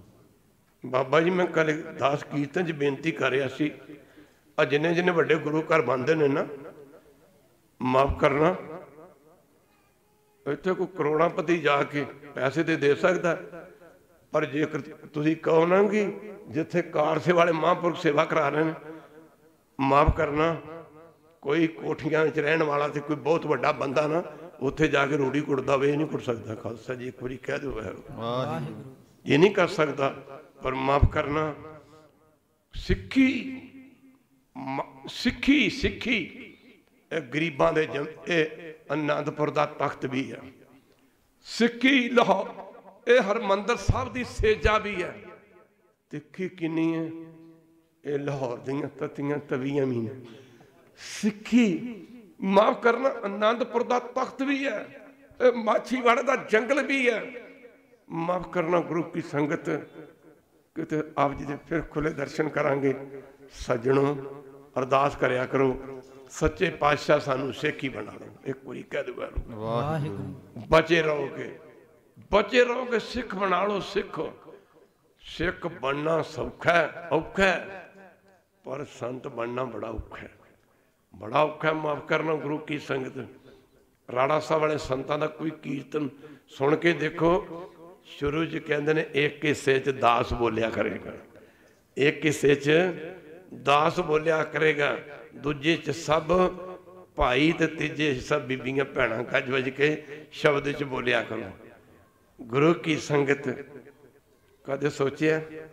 ਮਾਫ ਕਰਨਾ ਗੁਰੂ ਕੀ ਸੰਗਤ। ਗੁਰੂ ਅਮਰਦਾਸ ਮਹਾਰਾਜ ਦੇ ਚਰਨਾਂ ਵਿੱਚ ਮਾਫ ਕਰਨਾ, ਭਾਈ ਜੇਠਾ ਵੀ ਸੇਵਾ ਕਰਦਾ ਸੀ। ਭਾਈ ਜੇਠਾ ਜੀ ਵੀ ਸੇਵਾ ਕਰਦੇ ਸਨ, ਗੁਰੂ ਰਾਮਦਾਸ ਜੀ ਦਾ ਪਹਿਲਾ ਨਾਮ। ਭਾਈ ਰਾਮਾ ਜੀ ਵੀ ਸੇਵਾ ਕਰਦੇ ਸਨ। ਸਤਿਗੁਰ ਪਾਤਸ਼ਾਹ ਦੀਆਂ ਦੋ ਬੇਟੀਆਂ ਸਨ। ਇੱਕ ਦਾ ਨਾਮ ਬੀਬੀ ਭਾਨੀ ਸੀ, ਦੂਜੀ ਦਾ ਨਾਮ ਬੀਬੀ ਦਾਨੀ ਸੀ। ਪਰ ਸਾਧ ਸੰਗਤ ਜੀ, ਆਪ ਗਵਾਏ, ਸੇਵਾ ਕਰੇ। ਮਾਫ ਕਰਨਾ ਜਿਹੜਾ ਬੀਜ ਧਰਤੀ ਦੇ ਵਿੱਚ ਗਲਣਾ ਨਹੀਂ ਜਾਣਦਾ ਉਹ ਬੀਜ ਉੱਗ ਨਹੀਂ ਸਕਦਾ। ਇੱਕ ਵਾਰੀ ਕਹਿ ਦਿਓ ਵਾਹਿਗੁਰੂ ਵਾਹਿਗੁਰੂ। ਜੇ ਬੀਜ ਧਰਤੀ ਦੇ ਵਿੱਚ ਨਾ ਨਾ ਗਲੇ ਉਹ ਉੱਗ ਨਹੀਂ ਸਕਦਾ ਤੇ ਜਿਹੜਾ ਗੁਰੂ ਕੀ ਸੰਗਤ ਸਿੱਖ ਆਪਣਾ ਆਪਾ ਨਹੀਂ ਗਵਾ ਸਕਦਾ ਉਹ ਸਿੱਖ ਸਿੱਖੀ ਦੀਆਂ ਮੰਜ਼ਲਾਂ ਤੇ ਪਹੁੰਚ ਨਹੀਂ ਸਕਦਾ। ਗੁਰੂ ਕੀ ਸੰਗਤ ਮਾਫ ਕਰਨਾ ਕਹਿੰਦੇ ਨੇ ਥੜ- ਕਈ ਕਹਿੰਦੇ 84 ਪੌੜੀਆਂ ਵਾਲੀ ਬੌਲੀ ਦੀ ਖੁਦਾਈ ਹੋ ਰਹੀ ਸੀ।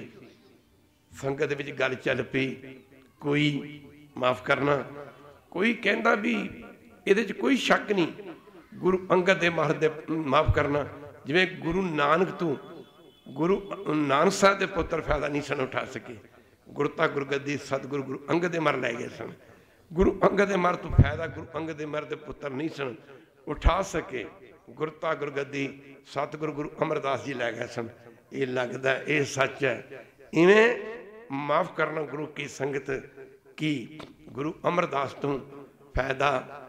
ਗੁਰੂ ਅਮਰਦਾਸ ਮਾਰ ਦੇ ਪੁੱਤਰ ਬਾਬਾ ਮੋਹਨ ਤੇ ਬਾਬਾ ਮੋਹਣੀ ਮੋਹਨ ਤੇ ਸਾਸ ਮਾਫ ਕਰਨਾ ਗੁਰੂ ਕੀ ਸੰਗਤ ਬਾਬਾ ਮੋਹਰੀ ਜੀ ਨਹੀਂ ਉਠਾ ਸਕਣਗੇ।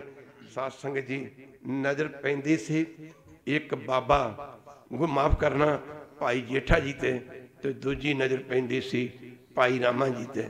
ਸੰਗਤ ਦੋ ਹਿੱਸਿਆਂ 'ਚ ਵੱਡੀ ਗਈ। ਇੱਕ ਕਿਸੇ ਦੀ ਸੰਗਤ ਕਹਿੰਦੀ, ਮਾਫ ਕਰਨਾ, ਇਹਦੇ 'ਚ ਕੋਈ ਸ਼ੱਕ ਨਹੀਂ, ਪੁੱਤਰ ਨਹੀਂ ਸੇਵਾ ਕਰਦੇ। ਪਰ ਸਾਧ ਸੰਗਤ ਜੀ ਜੇ ਵਿਚਾਰ ਕਰਕੇ ਵੇਖੀ ਆ ਕਈ ਵਾਰੀ ਕਹਿ ਦਿੰਦੇ ਅਸੀਂ ਗੁਰੂ ਨਾਨਕ ਸਾਹਿਬ ਦੀ ਅੰਸ਼ ਬੰਸਾਂ ਗੁਰੂ ਨਾਨਕ ਦੀ ਅੰਸ਼ ਬੰਸ ਤਾਂ ਬਾਬਾ ਲੈਣਾ ਮਾਫ ਕਰਨਾ ਸੱਜਣੋ, ਗੁਰੂ ਘਰ ਦੇ ਵਿੱਚ ਵਡਿਆਈ ਸਿੱਖ ਨੂੰ ਦਿੱਤੀ ਗਈ, ਇੱਕ ਵਾਰੀ ਕਹਿ ਰਹੇ ਵਹਿਰੂ ਵਡਿਆਈ ਸਿੱਖ ਨੂੰ ਦਿੱਤੀ ਗਈ ਹੈ। ਜੇ ਵਿਚਾਰ ਕਰਕੇ ਵੇਖੀਏ, ਦਸਵੇਂ ਪਾਤਸ਼ਾਹ ਨੇ ਆਪਣੇ ਪੁੱਤਾਂ ਨੂੰ ਪੁੱਤ ਨਹੀਂ ਮੰਨਿਆ। ਸਾਨੂੰ ਪੁੱਤ ਮੰਨਿਆ। ਸਾਨੂੰ ਪੁੱਤ ਮੰਨਿਆ ਆਪਣੇ ਪੁੱਤ ਵਾਰ ਕੇ। ਉਹ ਇਨ ਪੁੱਤਰਨ ਕੇ ਸੀਸ ਪਰ। ਇਨ ਪੁੱਤਰਨ ਕੇ ਸੀਸ ਪਰ ਵਾਰ ਦੀ ਇਸ ਚਾਰ ਦੁਨੀਆ ਦੇ ਲੋਕੀ ਲੈਕ ਪੁੱਤ ਨੂੰ ਪਿਆਰ ਕਰਦੇ ਨੇ। ਨਲਾਇਕ ਨੂੰ ਕੋਈ ਪਿਆਰ ਨਹੀਂ ਕਰਦਾ। ਮਾਫ ਕਰਨਾ ਕਿ ਅਸੀਂ ਗੁਰੂ ਗੋਬਿੰਦ ਸਿੰਘ ਦੇ ਪੁੱਤਰਾਂ ਵਰਗੇ ਬਣ ਸਕਦੇ ਹਾਂ? ਗੁਰੂ ਗੋਬਿੰਦ ਸਿੰਘ ਦੇ ਪੁੱਤਾਂ ਵਰਗੇ ਕੀ ਬਣ ਸਕਦੇ ਹਾਂ ਗੁਰੂ ਗੋਬਿੰਦ ਸਿੰਘ ਦੇ ਇੱਕ ਪੁੱਤ ਵਰਗੇ ਨਹੀਂ ਬਣ ਸਕਦੇ। ਪਰ ਦਸਵੇਂ ਪਾਤਸ਼ਾਹ ਨੇ ਆਪਣੇ ਚਾਰੇ ਪੁੱਤ ਸਾਡੇ ਤੋਂ ਕੁਰਬਾਨ ਕਰਕੇ ਸਾਨੂੰ ਨਲਾਇਕਾਂ ਨੂੰ ਆਪਣੇ ਪੁੱਤਰ ਬਣਾਇਆ। ਪਰ ਅਸੀਂ ਨਲਾਇਕ ਦੇ ਨਲਾਇਕ ਹੀ ਰਹੇ, ਅਸੀਂ ਲਾਇਕ ਨਹੀਂ ਬਣ ਸਕੇ, ਕੋਈ ਕਹਿ ਦਿਓ ਵੈਰ ਕੀ ਮੈਂ ਤੁਹਾਨੂੰ ਬੇਨਤੀ ਕਰਦਾ, ਸਿੰਘ ਸਾਹਿਬ ਬੈਠੇ ਨੇ ਸਾਰੇ ਹੀ, ਕਿ ਕੇਸ ਸਿੱਖ ਲਈ ਜ਼ਰੂਰੀ ਨਹੀਂ? ਤੁਸੀਂ ਬੋਲਦੇ ਕਿਉਂ ਨਹੀਂ? ਜ਼ਰੂਰੀ। ਮਾਫ ਕਰਨਾ ਕਿ ਅੰਮ੍ਰਿਤ ਛਕਣਾ ਸਿੱਖ ਲਈ ਜ਼ਰੂਰੀ ਨਹੀਂ। ਕਿ ਨਸ਼ਿਆਂ ਦਾ ਤਿਆਗ ਕਰਨਾ, ਛੱਡਣਾ ਸਿੱਖ ਲਈ ਜ਼ਰੂਰੀ ਨਹੀਂ। ਕਿ ਸਾਨੂੰ ਦਸਵੇਂ ਪਾਤਸ਼ਾਹ ਮਾਫ ਕਰਨਾ ਕਿ ਸਾਨੂੰ ਸ਼ਰਾਬ ਹੀ ਪਿਲਾਉਣੀ ਸਿਖਾ ਗਏ ਸਨ। ਮਾਫ ਕਰਨਾ ਫਿਰ ਜੇ ਸ਼ਰਾਬ ਦੇ ਪੀਤਿਆਂ ਮੁਕਤੀ ਹੋਣੀ ਹੁੰਦੀ ਤੇ ਗੁਰੂ ਸਾਨੂੰ ਅੰਮ੍ਰਿਤ ਦਾ ਬਾਟਾ ਤਿਆਰ ਕਰਨ ਦੀ ਕੀ ਲੋੜ ਸੀ? ਸੱਜਣੋ ਪਿਆਰੀ ਅਸੀਂ ਅੰਮ੍ਰਿਤ ਦੇ। ਵਾਸੀ ਅਸੀਂ ਅਨੰਦਪੁਰ ਦੇ ਪਾਤਸ਼ਾਹ ਨੇ ਸਾਨੂੰ ਆਪਣੇ ਪੁੱਤ ਬਣਾਇਆ। ਮਾਫ ਕਰਨਾ ਕਿਸੇ ਦਾ ਪੁੱਤ ਲੈਕ ਹੋਵੇ ਨਾ ਤੇ ਸਿਆਣੇ ਲੋਕੀ ਕਹਿੰਦੇ ਨੇ ਜੀ ਇਹ ਤੇ ਆਪਣੇ ਪਿਓ ਤੇ ਗਿਆ ਜੀ। ਇਹ ਤੇ ਪਿਓ ਤੇ ਗਿਆ ਕਈ ਕਹਿੰਦੇ ਪਿਓ ਨੂੰ ਵੀ ਅੱਗੇ ਲੰਘ ਗਿਆ। ਇੱਕ ਵਾਰੀ ਕਹਿ ਦੇ ਵੈਰੂ ਅੱਗੇ ਲੰਘ ਗਿਆ। ਪਰ ਮਾਫ ਕਰਨਾ ਵੀ ਇਸ ਬੱਚੇ ਤੇ ਆਪਣੇ ਪਿਓ ਵਾਲੇ ਗੁਣ ਨੇ ਤੇ ਸਾਡੇ ਵਿੱਚ ਇੱਕ ਦਾ ਗੁਣ ਤੇ ਹੋਣਾ ਹੀ ਚਾਹੀਦਾ ਨਾ। ਇੱਕ ਵਾਰੀ ਕਹਿ ਦੇ ਵੈਰੂ ਵਾਹਿਗੁਰੂ। ਬਹੁਤੀ ਗੱਲ ਨਹੀਂ ਤੇ ਸਾਡੇ ਕੇਸ ਹੀ ਹੋਣੇ ਚਾਹੀਦੇ ਨੇ। ਕੇਸ ਨਹੀਂ ਤੇ ਸਾਡੇ। ਸਾਨੂੰ ਅੰਮ੍ਰਿਤ ਹੀ ਛਕਣਾ ਚਾਹੀਦਾ। ਗੁਰੂ ਕੀ ਸੰਗਤ ਤੇ ਜਿਹੜਾ ਧਿਆਨ ਦੇਣਾ ਪਵੇਗਾ। ਇੱਧਰ ਆਓ ਨਾ ਜਰਾ।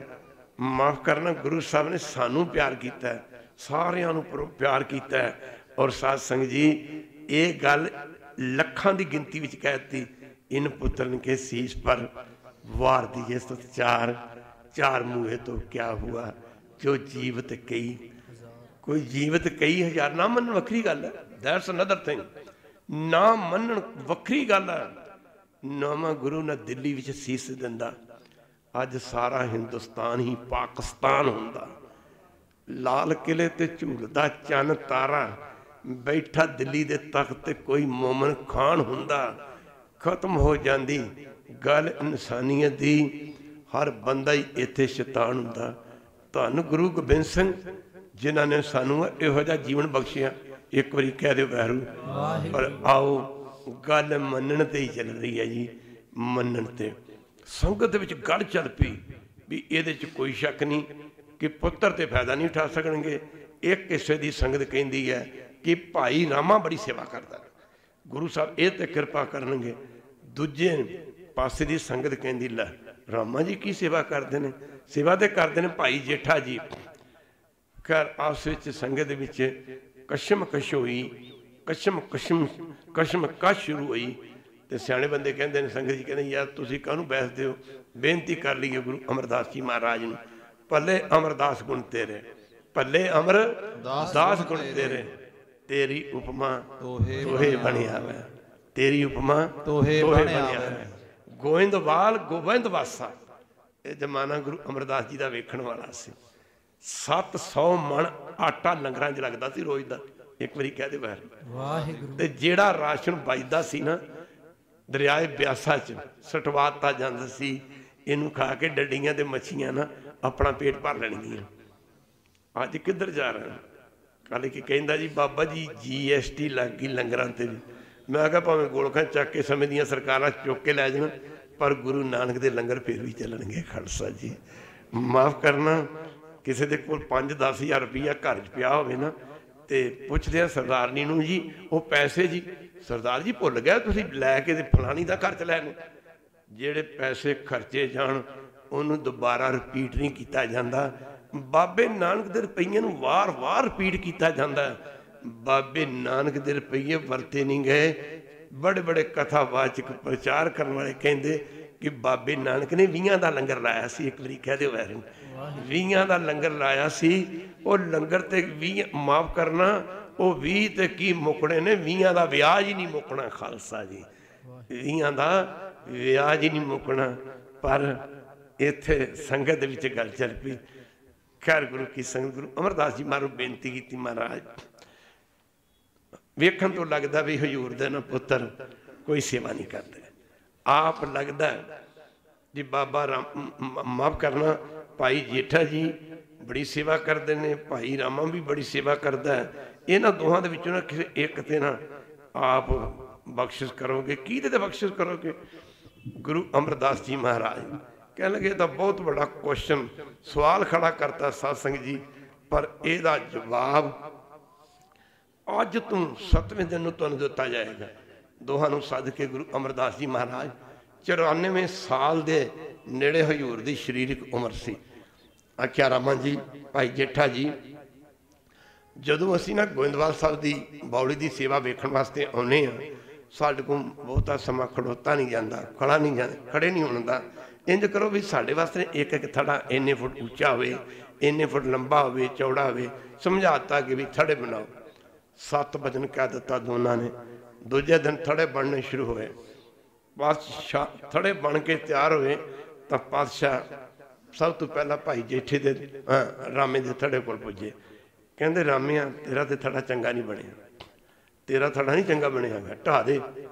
ਭਾਈ ਜੇਠਾ ਜੀ ਨੇ ਆਖਿਆ, ਅੰਦਰ ਮੈਂ ਖੜੀ ਹੈ ਜੀ, ਅੰਦਰ ਸੱਪ ਬੈਠਾ ਜੀ। ਹਉ ਬੈਠੀ ਹੈ ਜੀ, ਇੱਕ ਵਾਰੀ ਕਹਿ ਦਿਓ ਵੈਰੂ ਜੀ। ਜਬ ਲਗ ਮੇਰੀ ਮੇਰੀ ਕਰੈ, ਤਬ ਲਗ ਕਾਜ ਏਕ ਨਾ। ਸਰ ਆਖਿਆ, ਮਹਾਰਾਜ ਜੀ, ਮਹਾਰਾਜ ਥੜੇ 'ਚ ਤੇ ਕੋਈ ਕਮੀ ਨਹੀਂ, ਪਰ ਤੁਹਾਡੇ ਵੇਖਣ ਵਿੱਚ ਫ਼ਰਕ ਹੈ। 94 ਸਾਲ ਦੀ ਤੁਹਾਡੀ ਉਮਰ ਹੋ ਗਈ। ਐਸ ਐਡੀ ਵੱਡੀ ਉਮਰ ਤੇ ਅੱਖਾਂ ਦੀ ਰੋਸ਼ਨੀ ਵੀ ਮੱਧਮ ਪੈ ਜਾਂਦੀ ਹੈ। ਆਹ, ਪਾਤਸ਼ਾਹ ਕਹਿੰਦੇ ਢਾ ਦੇ। ਟੰਗਾ ਜੀ ਮੈਂ ਢਾ ਦੇਣਾ ਕੱਲ ਨੂੰ ਦੇਖਾਂਗਾ ਜੀ।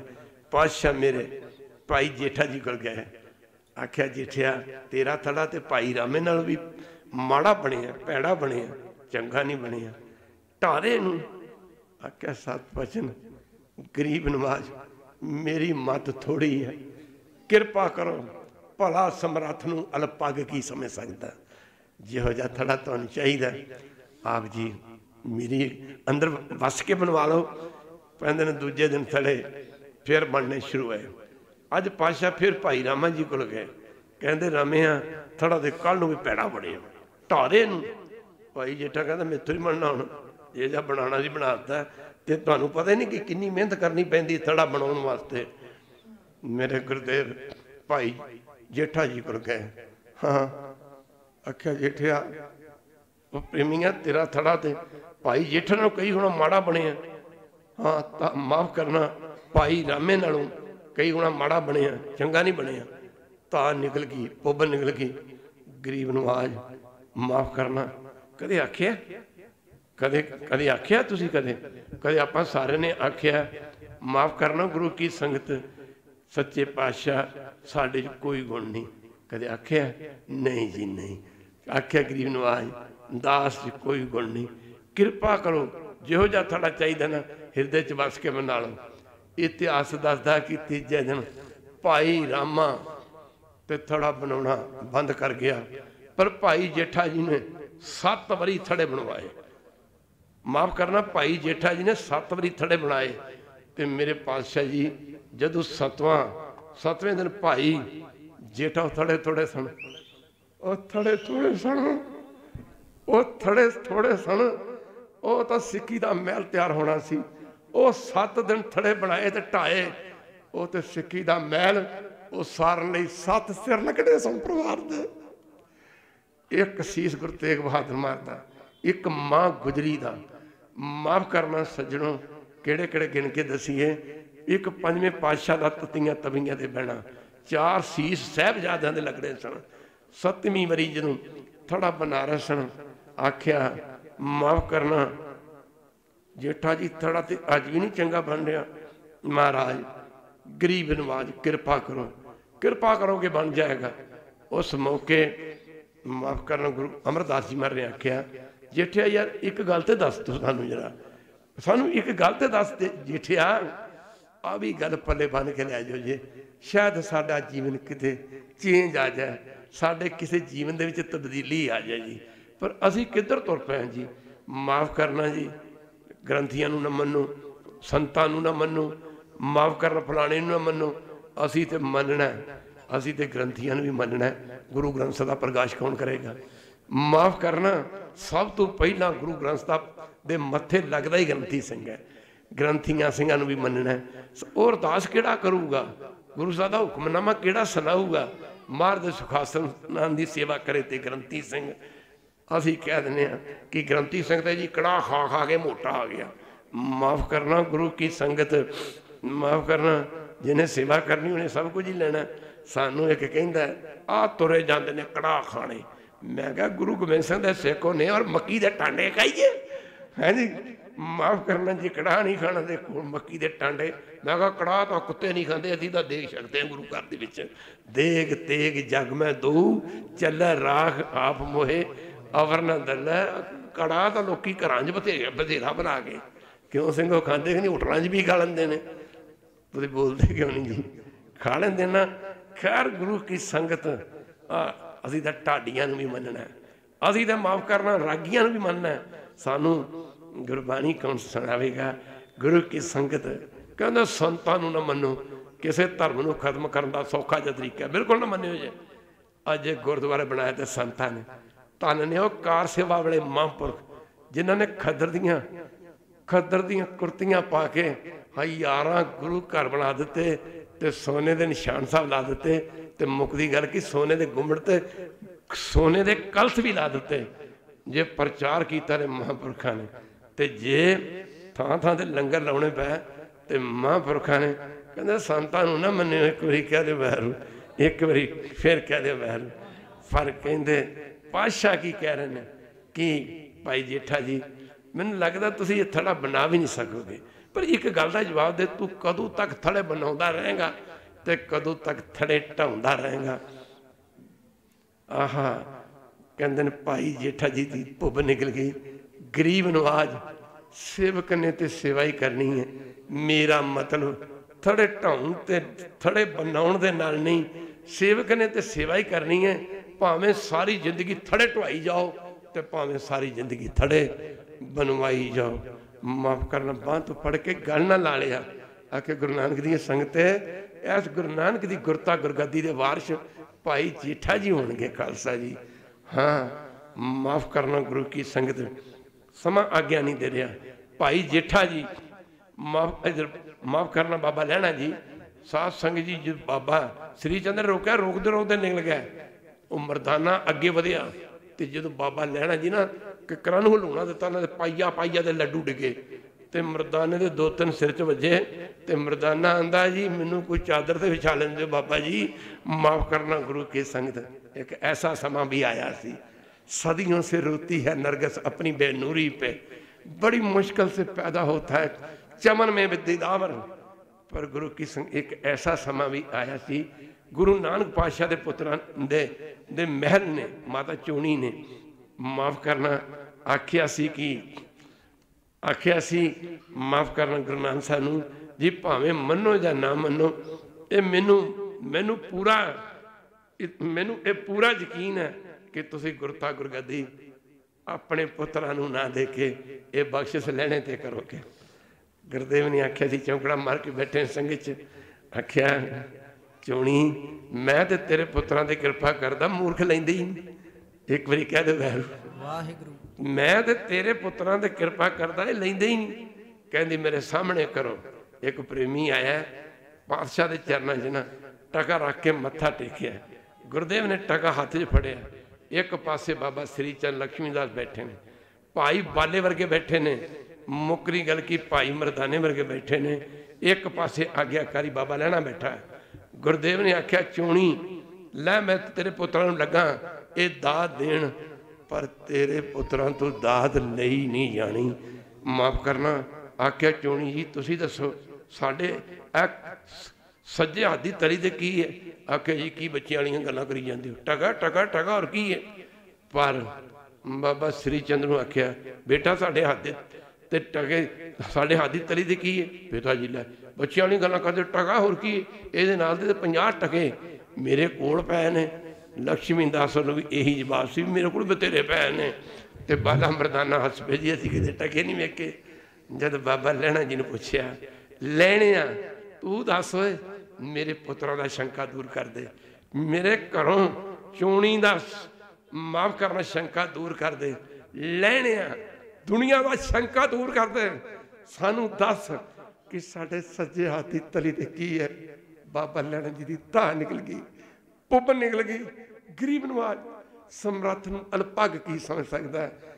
ਗਰੀਬ ਨਵਾਜ, ਸਤਿਗੁਰ ਪਾਤਸ਼ਾਹ ਕਹਿੰਦੇ, ਤੂੰ ਦੱਸ ਲੈਣੇ ਆ ਕਿ ਸਾਡੇ ਸੱਜੇ ਹੱਥ ਦੀ ਤਲੀ ਤੇ ਕੀ ਹੈ?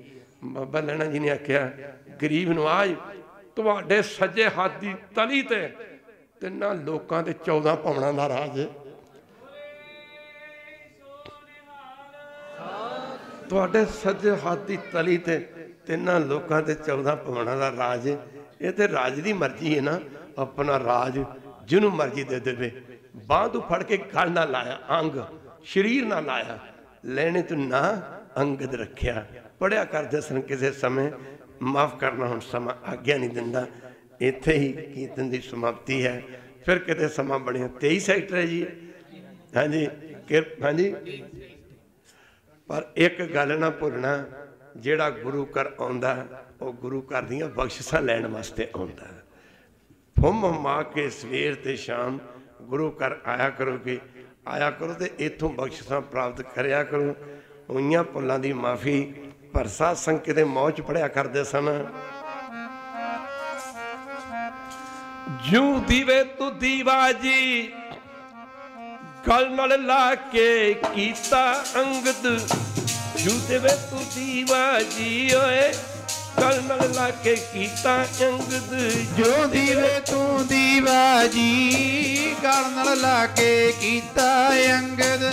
ਜੋ ਦੀਵੇ ਤੂੰ ਦੀਵਾ ਜੀ ਗਲ ਨਾਲ ਲਾ ਕੇ ਕੀਤਾ ਅੰਗਦ ਇਤੋਂ ਦੀਵਾ ਜੀ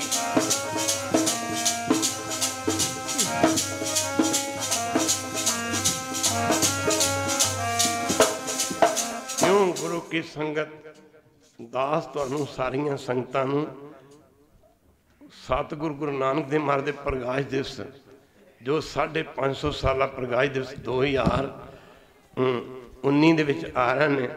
ਤੁਹਾਨੂੰ ਲੱਖ ਲੱਖ ਵਧਾਈ ਦਿੰਦਾ, ਪਰ ਇੰਨੀ ਕੋਸ਼ਿਸ਼ ਜ਼ਰੂਰ ਕਰਿਓ ਜੇ ਸਿੱਖੋ ਤਾਂ ਕੇਸ ਰੱਖ ਲਿਓ ਜੀ ਅੰਮ੍ਰਿਤ ਛਕ ਲਿਓ ਜੇ। ਸੱਜਣੋ ਮਾਰਿਆ ਸਿੱਕਾ ਜਗਤ ਵਿੱਚ, ਨਾਨਕ ਨਿਰਮਲ ਪੰਥ ਚਲਾਇਆ ਇੰਨੇ ਸ਼ਬਦ ਪ੍ਰਮਾਣ ਹੋਈਆਂ ਭੁੱਲਾਂ ਦੀ ਮਾਫੀ ਤੇ ਅਨੰਸਾ ਦਾ ਪਾਠ ਹੋਵੇਗਾ, ਉਸ ਤੋਂ ਬਾਅਦ ਅਰਦਾਸ ਹੋਈਆਂ ਭੁੱਲਾਂ ਦੀ ਮਾਫੀ। ਰਾਮ ਕਲੀ ਮਹਲਾ ਤੀਜਾ ਨੰਦੀ ਕੁੰਕਾ ਸੁ ਪ੍ਰਸਾਦ। ਅਨੰਦ ਪਿਆ ਮੇਰੀ ਮਾਏ ਸਤਿਗੁਰੂ ਨੇ ਪਾਇਆ, ਸਤਿਗੁਰ ਤਾ ਪਾਇਆ, ਸਹਿਜ ਸੇਤੀ ਮਨ ਵਜੀਆਂ ਵਧਾਈਆਂ।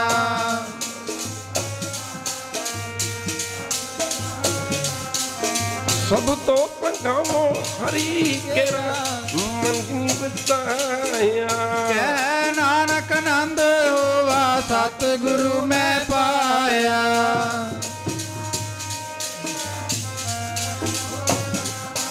ਹਰ ਨਾਲ ਰਹੋ ਤੂੰ ਮਨ ਮੇਰੇ ਤੂੰ ਸਭ ਵਿਤਾਰਨਾ ਅੰਗੀਕਾਰ ਕਰੇ ਤੇਰਾ ਕਾਰਜ ਸਭ ਸਵਾਰਨਾ।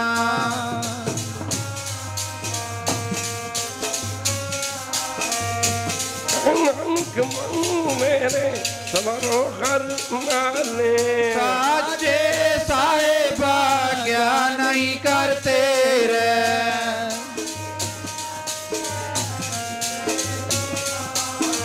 ਸਦਾ ਸਿਫਤ ਸਲਾ ਤੇਰੀ ਮਨ ਬਤਾਵੇ ਨਾਮ ਜਿਣ ਕੇ ਮਨ ਵਸਿਆ ਵਾਚੇ ਸ਼ਬਦ ਕਨੇਰੇ।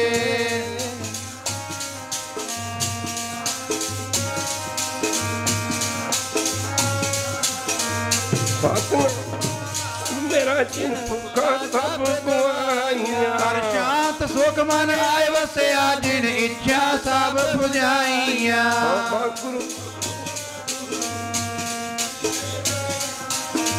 ਕਹੇ ਨਾਨਕ ਤੂੰ ਨੋ ਸੰਤੋ ਸੰਤਰੋ ਪਿਆਰੋ ਸੱਚਾ ਨਾ ਮੇਰਾ ਆਸ ਵਾਜੇ ਪੰਜ ਸ਼ਬਦ ਤਿਤ ਕਾਰ ਸੁਭਾਗੈ ਕਾਰ ਸੁਭਾਗੈ ਸ਼ਬਦ ਵਾਜੇ ਕਲਾ ਜਿਤ ਕਰ ਤਾਰੀਆ ਪੰਜ ਦੂਤ ਤੁਧ ਵਾਪਸ ਕੀਤੇ ਕਾਲ ਕੰਟ ਕੁਮਾਰੀਆ ਕਰਮ ਪਾਇਆ ਤੁਝੇ ਨ ਕੋ ਸੇ ਨਾਮ ਹਰ ਕੇ ਤੈ ਕੋ ਆਸ ਕਰ ਅਨੰਦ।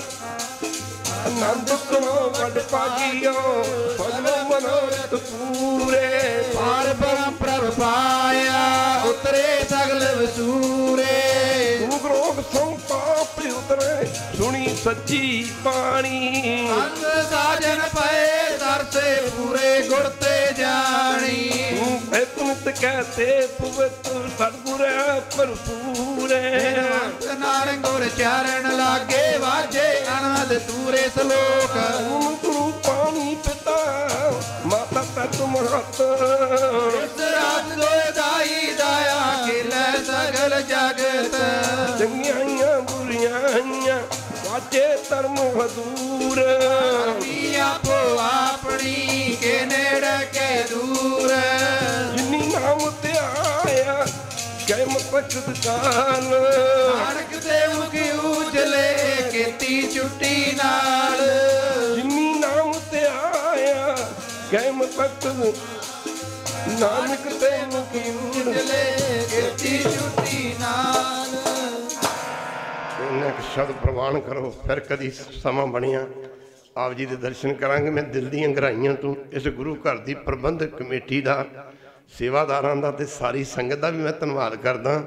ਇੱਥੇ ਦੇ ਗ੍ਰੰਥੀ ਸਿੰਘ, ਇੱਥੇ ਦਾ ਕੀਰਤਨੀय ਜਥਾ, ਮੈਂ ਉਹਨਾਂ ਦਾ ਵੀ ਸਾਰਿਆਂ ਦਾ ਧੰਨਵਾਦ ਕਰਦਾ। ਸਾਧ ਸੰਗਤ ਜੀ, ਤੁਸੀਂ ਸਿੱਖੀ ਦੇ ਰਾਹ ਤੇ ਚੱਲਦੇ ਰਹੋ, ਨਾਮ ਜਪਦੇ ਰਹੋ, ਬਾਣੀ ਪੜ੍ਹਦੇ ਰਹੋ, ਤੁਸੀਂ ਸੁਖੀ ਵਸੋ ਤੇ ਅਸੀਂ ਦੇਖਦੇ ਰਹੀਏ। ਨਾਨਕ ਨਾਮ ਚੜ੍ਹਦੀ ਕਲਾ, ਤੇਰੇ ਪਾਣੇ ਸਰਬੱਤ ਦਾ ਪਲਾ ਤੂੰ ਠਾਕੁਰ।